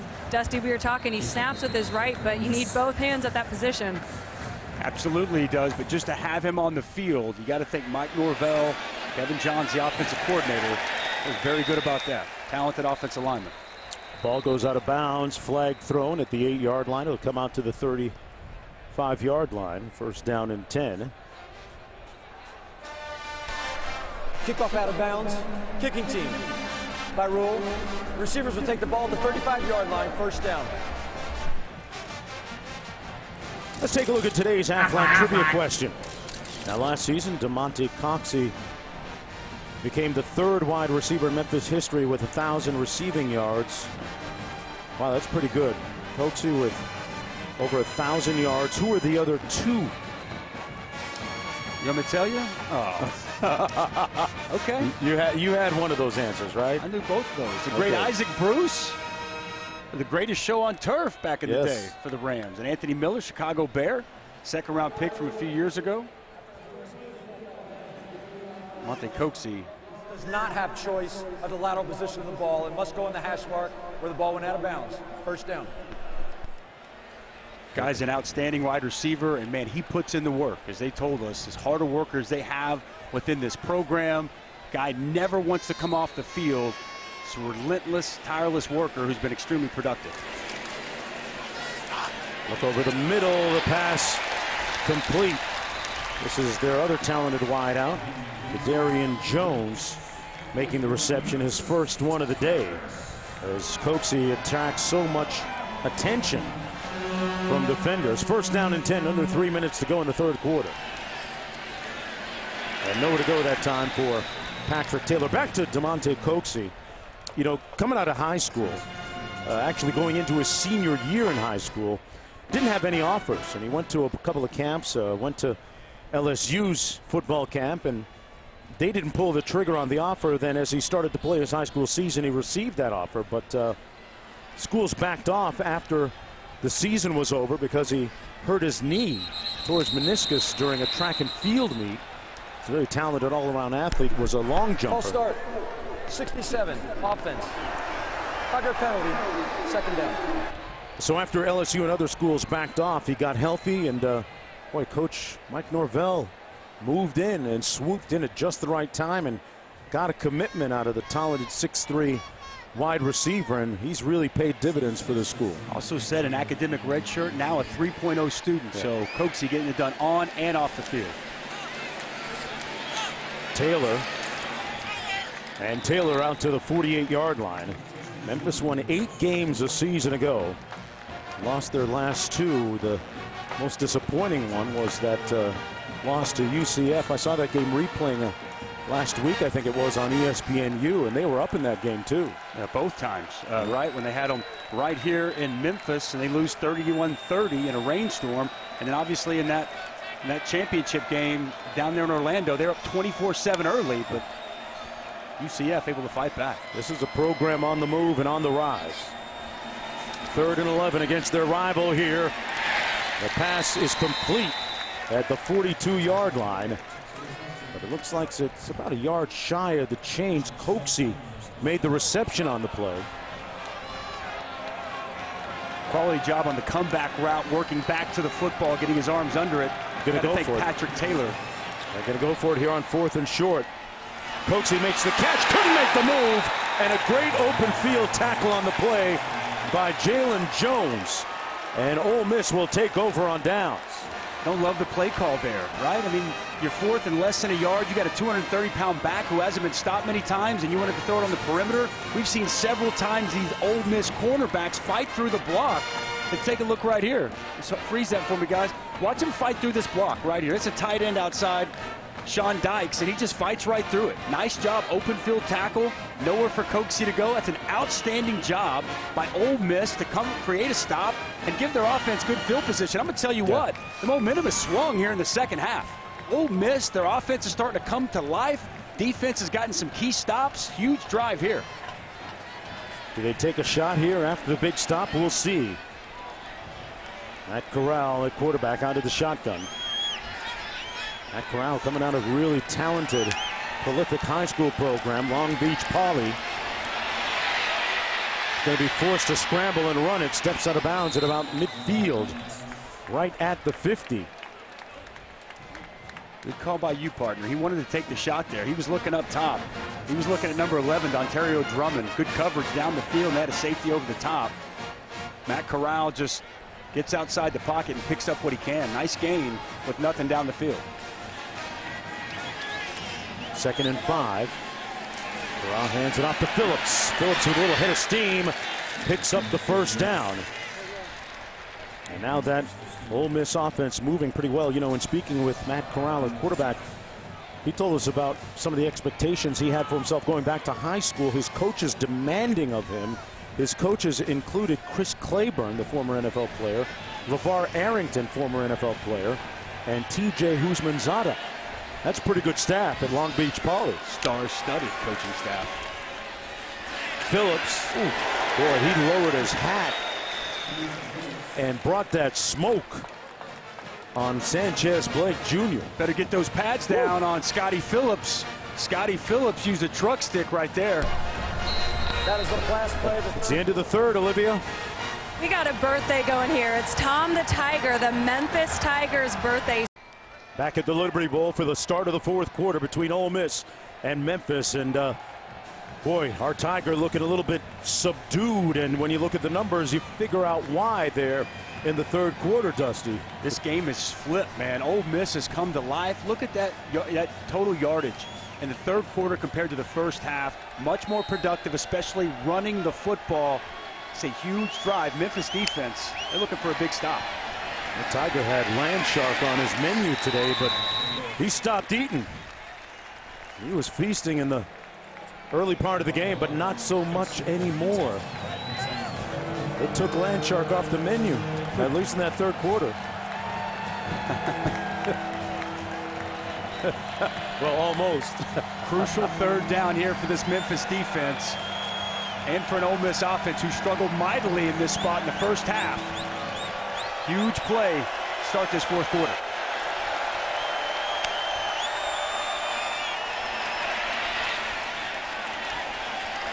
And they're going to come up about a yard or two short on third down. It'll be third down and two and Coach Matt Luke with a little bit of a decision right now, just underway here in the fourth and final 15 minutes of play.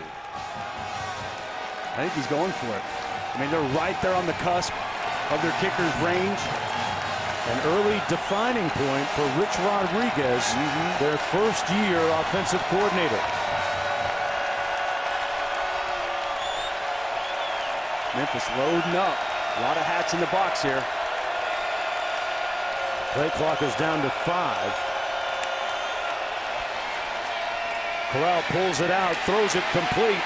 First down reception made by Octavious Cooley, who was tackled immediately by Austin Hall, but Rich Rod draws up a good one. Nice job right there by the quarterback, Matt Corral. Love the play call, the RPO action. Matt Corral held it at the mesh point for a long time, pulled it, and then he found his tight end sneak out the backside. Great job securing the football by Octavious Cooley. Gets the big hit delivered on him by Austin Hall. And as we mentioned, a huge first down yeah. for this Rebel offense. Well, O'Bryan Goodson one of the players shaken up down in the field from Memphis at the 34-yard line. But Ole Miss hangs onto the football, driving down the field when we come back to the Liberty Bowl on opening weekend in college football.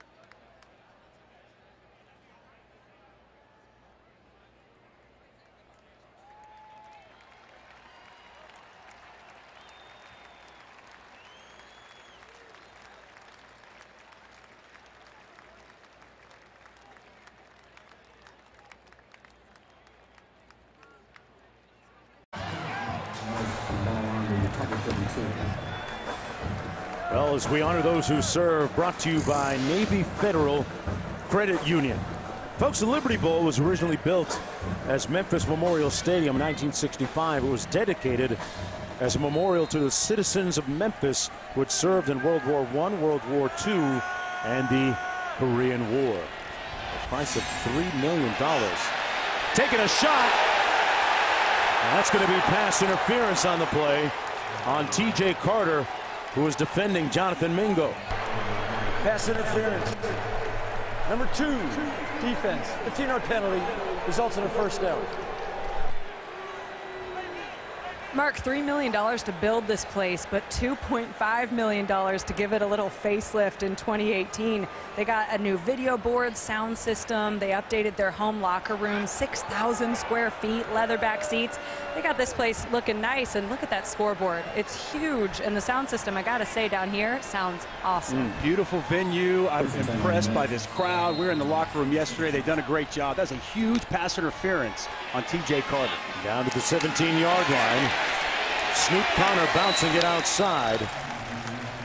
And we were able to take a little tour through this venue yesterday, and uh, each of the players there has their names above on a flat screen television monitor. And it is, uh, you, it's not far off the Ritz Carlton there. It was pretty comfortable. Beautiful facility. They've done a really nice job here at the Liberty Bowl. Second down and 11.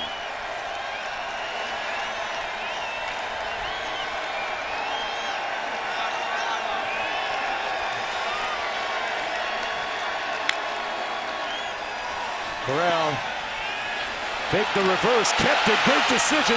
Corral chopped down short of the end zone, and he took a big hit on that right leg. It was exposed, and Sanchez Blake Jr. saved the touchdown with that stop. Telling you, man, all the momentum right now is with this Ole Miss football team in the second half. I like the fake there to Elijah Moore. And Matt Corral able to get to the edge and inside the five-yard line, Ole Miss in business, first and goal. Rich Rodriguez amped up now. First time in 20 years he's been in the booth. Officials timeout for an injured New player offensive coordinator. just outside the sideline. And we have an injured player on the sideline. Second one in the last couple of minutes. Stopping play with 12-19 to go, and boy, Ole Miss really on the move right now. They have stolen the momentum from Memphis. That's Blake Jr. who made the last tackle on the play. A little shaken up after that 15-yard gain.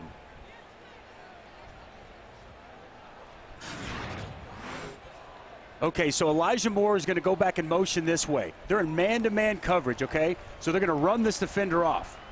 So as this works, he's going to go there. That defender, 32, he vacates, right? That's what sets this play up. Excellent job on the perimeter by Snoop Conner, the running back, to escort his quarterback. That's good play call right there by Rich Rodriguez. Understanding the coverage, knowing the defender is going to go with Elijah Moore, and then your athletic quarterback, Matt Corral, making the most out of it. Rich Rod has had some pretty prolific quarterbacks in the past. Pat White, Rasheed Marshall of West Virginia. That kind of started the carousel. First and goal for Ole Miss.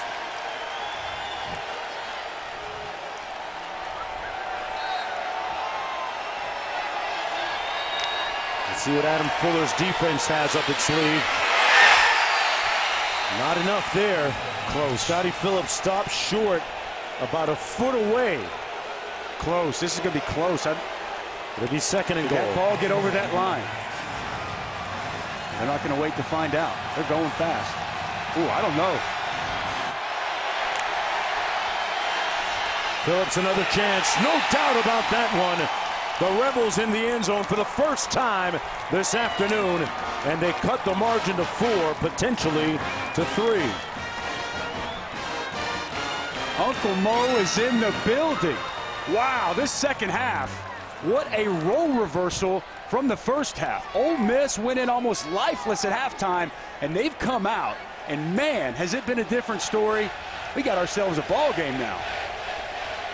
Scottie Phillips with his 13th rushing touchdown of his career.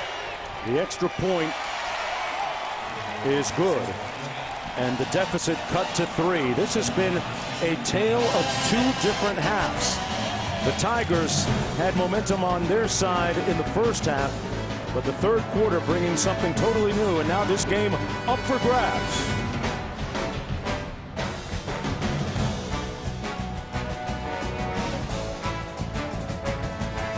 College football on ABC is brought to you by Pacific Life.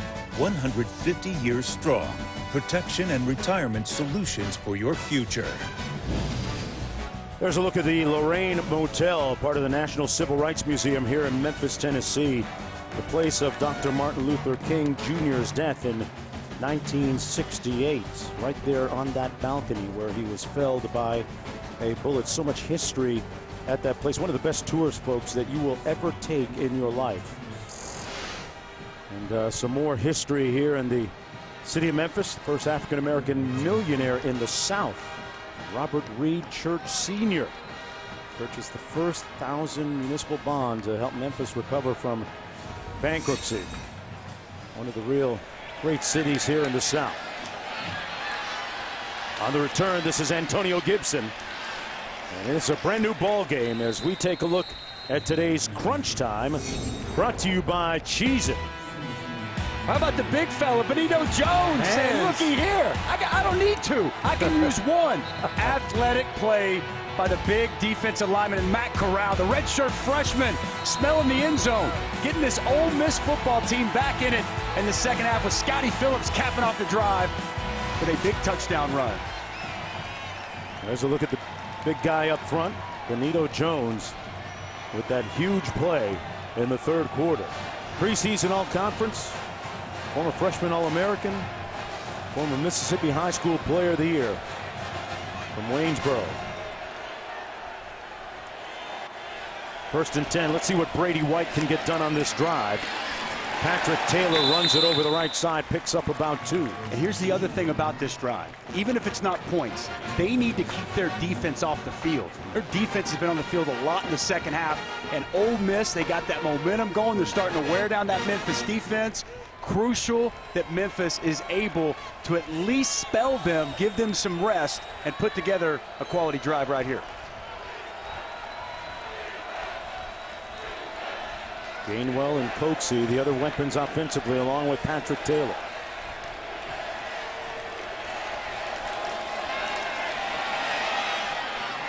Open at the 45. Caught on the play by Coxie. Coxie and Clutch kind of go together. Big catch for 25 yards. Quality protection by the offensive line. They give him plenty of time. Nice clean pocket. He can step up, deliver the throw, and look at that, right on the hands before he tiptoes out of bounds. And the good news for Memphis, Brady White is connected on his last six passes in a row. This time hands it off.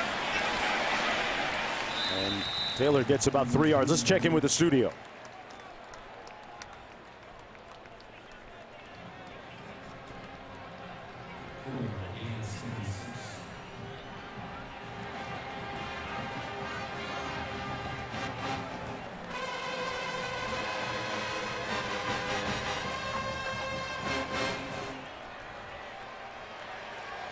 Dusty, when the FCS team comes in, gets that check and the win, it's a heck of a story.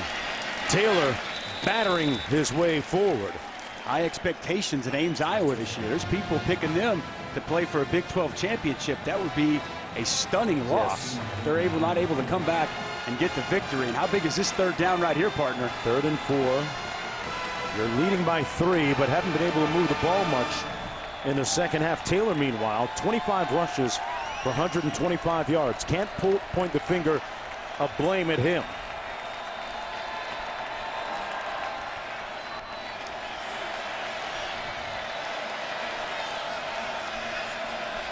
Got two receivers stacked. Bunch formation, top of your screen. White just got it away in time. Caught a yard short of the first down by Pop Williams. So it's fourth down and about one coming up for Brady White. Ran the mesh route. Both wide receivers come across each other. A little pick play. Pop Williams set down in the soft zone. Set up fourth and short. It is going to be huge. Huge. One of three on fourth down today. Last time they didn't use Patrick Taylor. We'll see what they do this time. You got a guy that's 6'3", 230 and runs downhill. I don't know how you don't hand it to him. White going to keep it himself. Boy, that's going to be close. That is going to be extremely close. If he got it, it wasn't by much. That last spin at the end yeah. might have been enough. I mean, it's right at the sticks. Initially, he was stopped. And they're going to give him the first okay. down without even measuring for it. We got a very auspicious spot that time. 8.40 to go. like the extra effort right here by Brady White. Look, Lakia Comes in, makes a big hit, and a little spin back as he leans forward. Just enough. White hands it off. That was Gainwell, and Gainwell down to the 40-yard line. Folks, it's the only game of the night. On Monday, we'll have Brian Kelly, number nine Notre Dame, taking on Louisville in Scott Satterfield's debut for Louisville. 8 Eastern, 5 Pacific from Cardinal Stadium on ESPN, as well as the ESPN app. Brady White, an interesting story, came all the way from California, Newhall, California. And was a little bit homesick in Oxford, pardon me, in Mississippi at first. Memphis, pardon me. Hands it off. And Trell Gainwell with nowhere to go. Luke Knox making the stop. This game's got you so excited, man. I mean, no, Memphis, Mississippi, the Mississippi River, hey, whatever, man. no, but Brady White does have a great story. Had an uh, awful foot injury at Arizona State, right? And he was able to battle back. Uh, and he transferred and go back with the, his former offensive coordinator, Mike Norvell. He's here now, and he's got his team in position to win a huge season opening game. Can he do it? Come back. We'll find. Football we're celebrating this year, and the first full weekend of college football here from Memphis, the Liberty Bowl. 13-10, the Tigers leading the Rebels. Mark Jones chopping it up with Dusty Dvoracek and Olivia Dekker down in the field. Big third and six coming up for the Tigers, trying to wrest the momentum back. White under duress and sacked. Mike MacIntyre's defense comes up with a huge play. Bivens with the stop. This is the second time we've seen Bivens from the inside make an inside move. Going to beat the guard with a quality pass rush, collapse the pocket. Watch, he's going to work here. He's going to work inside this guard. Excellent job continuing to work. Starts with the bull, rips off inside. Good coverage down the field, and a huge sack for Mike MacIntyre's defense as they get off the field. Going to get their offense the ball back, try to take the lead. And a lot more signs of getting more pressure on the quarterback there than they did a season ago. The punt will roll inside the five. Boy, this is going to work out great for the Memphis Tigers. It'll be down to the two-yard line after that great punt by Adam Williams. As we take a look at our Pacific Life game summary. 13-0 ball game at halftime. Memphis seemingly in control. They had their running game working behind Patrick Taylor, who carried the ball a lot in that first half. And then Ole Miss getting on the scoreboard in the second half. And here comes Matt Corral. Memphis defensive coordinator Adam Fuller was very upset, obviously, after Ole Miss scored their first touchdown of the day. He told his guys, don't wait for something to happen, just go get it. Now, he did take credit. He said, we're not being aggressive enough on quarterback Matt Corral. That's on me. We have plenty of time. Don't get scared. Don't quit. See if they try and dial up a little bit of pressure on him here, deep in their own end zone. Corral to pass, and he's going to take a safety. Bryce Huff.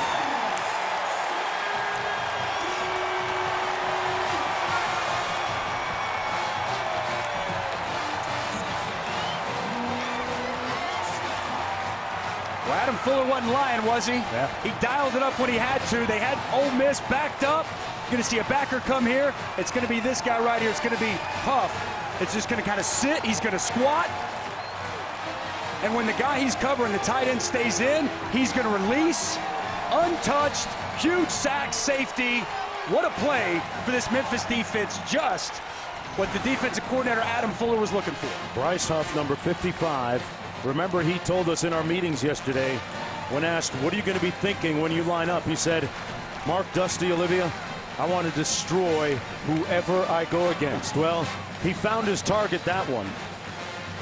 And it's 15 to 10 now. And Ole Miss will have to kick the ball away as well here. Huge credit to the punter of Ole Miss, Adam Williams, pinning him back inside the two. How many times today have we seen that punt just miss? Yeah. He's been flirting with pinning him inside the five several times, and at the perfect opportune time, he pins Ole Miss deep, and a huge play for the leader of that defense, Bryce Huff. And Adam Fuller, he's got to be elated on the sidelines. And Pop Williams back to get this kick.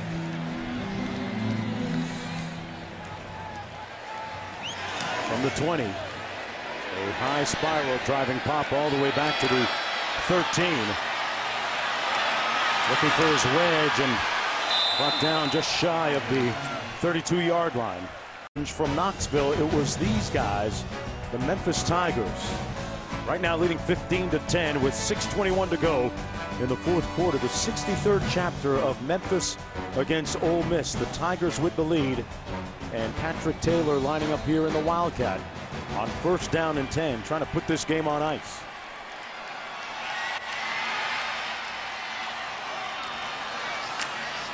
And Taylor brought down. He lose about a yard. Jalen Jones with a stop on the play. Nice job out there on the perimeter.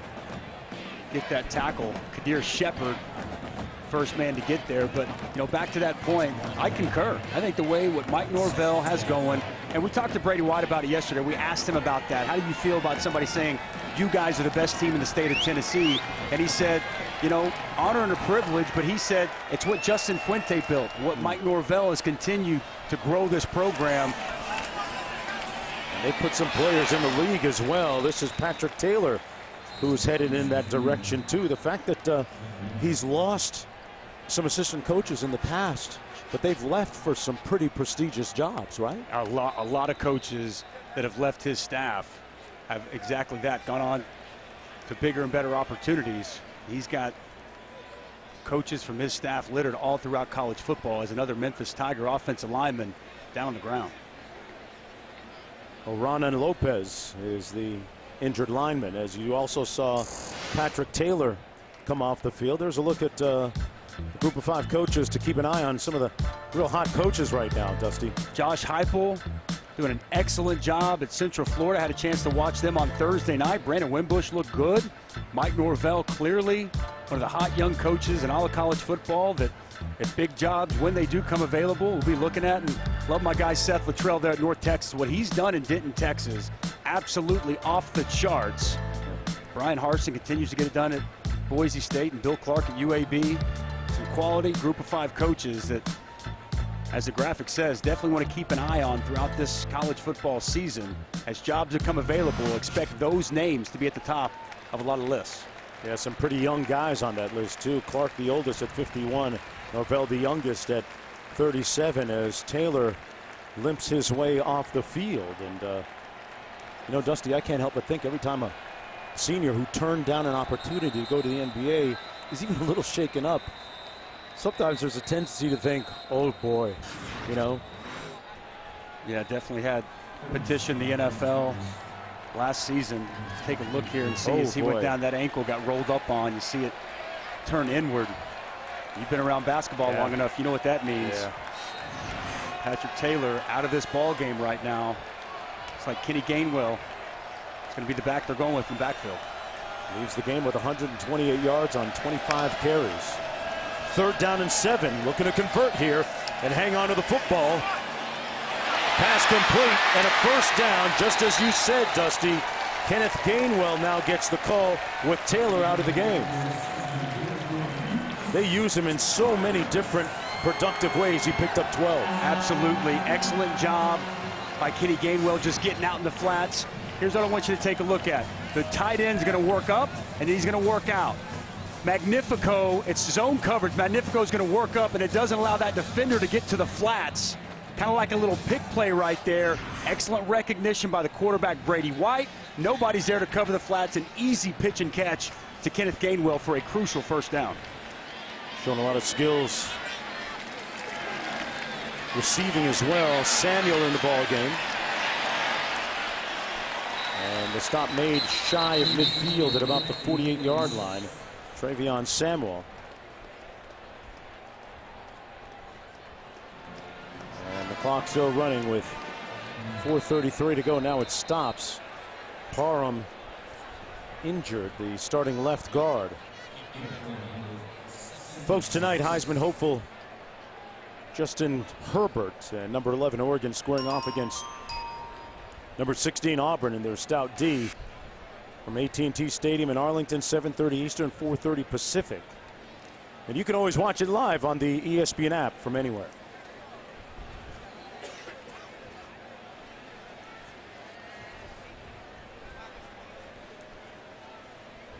Dylan Parham on the turf.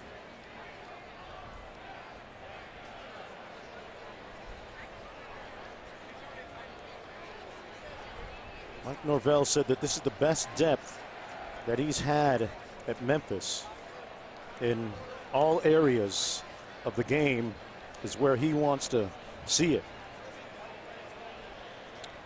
And he had high expectations so far right now. They're uh, leading Dusty with time winding down. How did they put this game away? Well, first downs, right? Continue to do what they're doing. You move into four-minute offense mode, being able to run the football. We just saw Patrick Taylor go out, so that means probably a steady dose of Kenneth Gainwell. So hmm. to me, that's where it's at now. That's the second offensive lineman we've seen go down in this drive. So, which, as you're a play caller, Mike Norvell, you have to understand your personnel and know where your offensive line's at. But what a day of college football! College football's right? back, man. It's back, man. It's the first you, you game know I on missed ABC. you, right? You know Hey, I missed well, you know. I missed you, man. hey, it's back, and, and how about to tell the two halves, right? Yeah. It looked like it was a game that, that Memphis was going to run away with. Ole Miss didn't have much life at all offensively, and here in the second half, they've come charging back, and this game's still within the realm of striking distance for Ole Miss. Obviously, a huge drive right here, and an Ole Miss defense And if they can get a stop, it'll be intriguing to see what Matt Corral, the quarterback, is able to do. Well, they're going to get another lineman in there.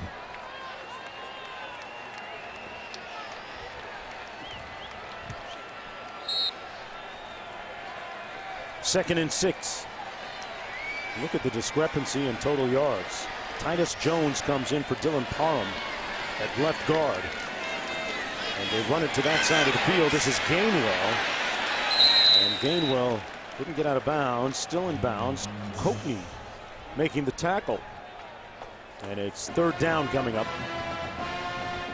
Uh, you see the timeout situation. Both teams with a full complement of timeouts remaining, which becomes more paramount here as time winds down. This is the chess right here, the chess match we've seen been going on all day between Mike Norvell, Mike MacIntyre. Third and medium situation. Playbook's wide open for Mike Norvell. Let's see if it's Coxie or maybe Gainwell again. Pass complete. Out of the backfield, Gainwell stopped up short of the first down. With 3.35 to go, Ole Miss will get a chance here, perhaps. What does Mike Norvell do? His team leading by five. He's going for They're it. going to hang on He's to it. rolling the dice. Wow. Okay, fourth Gutsy and call two. right here.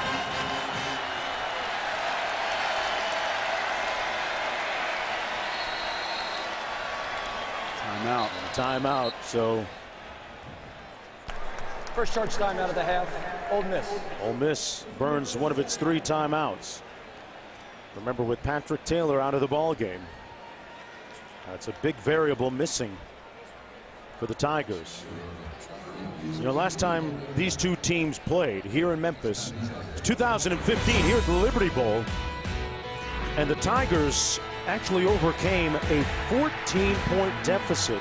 They were down two touchdowns and then stormed back, racing to a 37 24 win to remain undefeated on the season. And this is an Ole Miss team back at that time that was coming off a big Sugar Bowl appearance. So that was a talented group. Clearly, Memphis is going to go for it here. I, I'm, I'm a little surprised, I'll be honest with you. And they may wind up getting it, nicest game away, and it may be the right call. But as I look at this, if you punt based off what your punter did last time and you pin them, you force them to go a long way to score a touchdown. If you don't, you give Ole Miss the ball in great field position. Fourth and two. The shuffle pass, and they'll get the first down. Gainwell, boy, nice call by Mike Norvell. The gutsy, Gainwell with the first down. the gutsy call paid off. Excellent play design. Mike Norvell's had that sitting in his holster all day long. As you see Gainwell out of the slot. Wow. Just a little shovel pass. We haven't seen that all day. I saw them work on that yesterday in the walkthrough. He was waiting for the perfect opportunity. What a play call. Excellent execution. That took a lot of courage. Hanging tight onto the ball, Kenneth Gainwell with 2.49 to go. Ole Miss with two timeouts remaining. And you got to look at Gainwell here as a very important component of this Memphis team, especially now with Taylor Dusty out of the ball game and what he's been able to do. Oh, there's no question. He's he's we knew going in he was going to be a big component of what they do today and what they do throughout the year. And you look at the different ways they get him involved. Six grabs for 41 yards, 12 touches, and we've just seen him manipulate the game. You have to be cognizant of where he is at all times.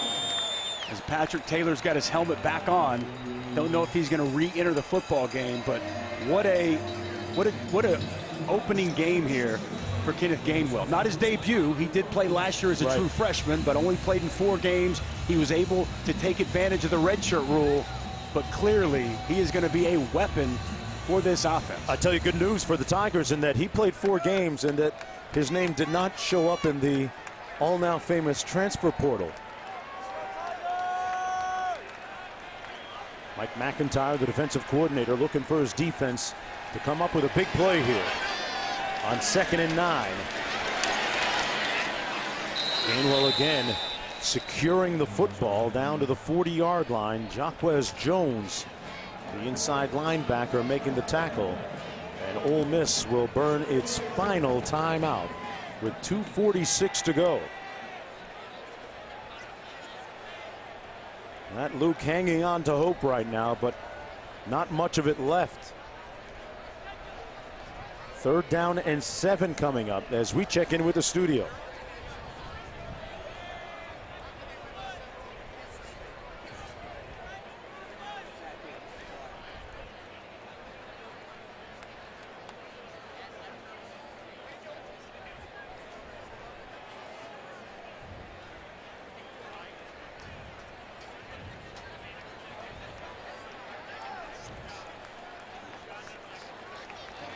It'll be interesting to see how Florida State bounces back this year. And by the way, with Dorian bearing down on the southeast portion of the country, we want to wish everyone prayers and thoughts that they would remain safe with the Category 4 hurricane out there.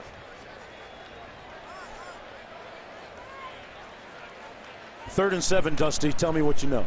Well, hang on. You tell me what you know. Okay, you were talking about the Mississippi River Right. right? Okay. All right. You said you you know where it starts. Can you name the 10 states the Mississippi lies in? Uh, let me see. Minnesota at Lake Itasca, uh, Wisconsin. Table that. I'll get the rest of it from you later. You're doing good so far. You got more work to do. Big third down. Geography important here for Memphis. Gainwell in the backfield, hanging on to it, got the first down. Got a good block again from Dorceus, who came into the backfield and cleared the path. Huge conversion for the Tigers and a gain of nine. Absolutely. What a day for the freshman, Kenneth Gainwell. Gains very well. Going to see here, nice little block. Going to set the edge. Going to get a defensive player, 94, Dorceus, get out in front, get just enough. Little spin, lean forward. Biggest first down of the game for this Memphis Tiger offense. Gainwell over 100 total yards in the ball game and adding to the total here. Dusty, let me go back to that last play. Good block thrown by Dorceus. Yes. You played on that side of the football defensively. They ever bring you in to block on the other side at Oklahoma? I begged and begged and begged. No. We, we had something in practice by last year, and- but you know what? Somehow it just never happened. Chuck Long, Kevin Wilson, they never uh, they never put me in, coach. Love seeing those defenders come in and lead the way. Absolutely. Several times on the touchdown run earlier, he did the same thing. Okay, so the Mississippi traverses a lot. 10, I'm going to guess Arkansas, Missouri, Orleans, Louisiana. Gainwell again. Smart, smart Stays in bounds after picking up the first down. Smart, unselfish. So many guys would want to take that, try to get to the corner, try to score a touchdown. But the freshman knows exactly the situation, knows once they get that first down, just get down, and it's all over. They can kneel the game out. What a day for Kenneth Gainwell. He could have taken that to the house or at least tried. He could have tried.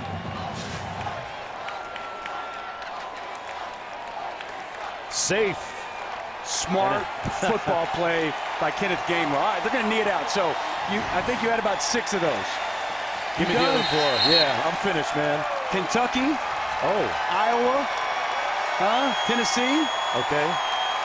Minnesota. And the big one today here in Tennessee. That's exactly right. That's exactly Thanks, right. partner. 34 seconds to go. Memphis 19 and 3 at home under fourth year head coach Mike Norvell. We're going to put this one in the W column. And what does a mean? What does a win mean for Memphis here this afternoon against an SEC West division opponent? This is a statement game, right? Look at the passion. Look at these guys. Tell me this isn't a rivalry game that means something. Huge win for this program, for Mike Norvell, to show everybody the ascension that this program is on. I give Ole Miss a lot of credit. They didn't quit. They showed a lot of fight, a lot of grit. They made it a tough, hard-fought game. I do think Matt Luke's team is on the rise. I liked what I saw in the second half offensively. I liked what I saw from Mike MacIntyre. But right now, it's all about the Memphis Tigers and a huge victory for Mike Norvell and his program. Coach Norvell said coming into the ball game this week, he was willing to tell anyone willing to listen, I want the very best they've ever been. He wasn't giving it the usual platitudes about this being just another game. He wasn't saying, oh, it's an important game because it's our next game. He was giving up the truth, folks. He said, I want them at their best. This is a huge game for our fan base and for the locals. And let's go down to Olivia for more. Thank you, guys. Coach, congratulations. We were calling this one a statement game. What would you call this win? Uh, it was just a great performance. You know, we told our team whatever it took. You know, it didn't matter. Didn't matter what, what the score was. Just one more play. And uh, these guys, I thought they did a wonderful job. Defense all day long. Special teams showed up big.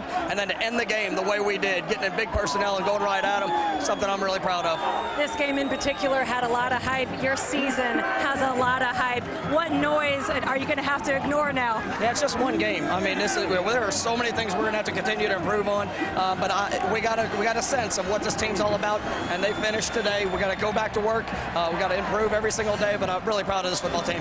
What answers did you get today? What was, what was, that? What answers did you get? Well, I see a team that has a lot of heart. I mean, this coaching staff did a great job in their preparation. Um, you know, we have some things we got to clean up, but uh, I really love this football team, the way they prepare, the way they work. Really proud of them. Congratulations, Coach. Thank you. Thank you so very much. 364 total yards for the Memphis Tigers in the victory today against their rival from Oxford, Mississippi. Mike Norvell with a great record here at home. Got great help from his quarterback, who was 23 of 31. He got it done today. And Gainwell, all he did was gain well. 15-10 the final score for Olivia, Dusty, and our entire crew. I'm Mark Jones. We send it back to the studio with Kevin Negandhi.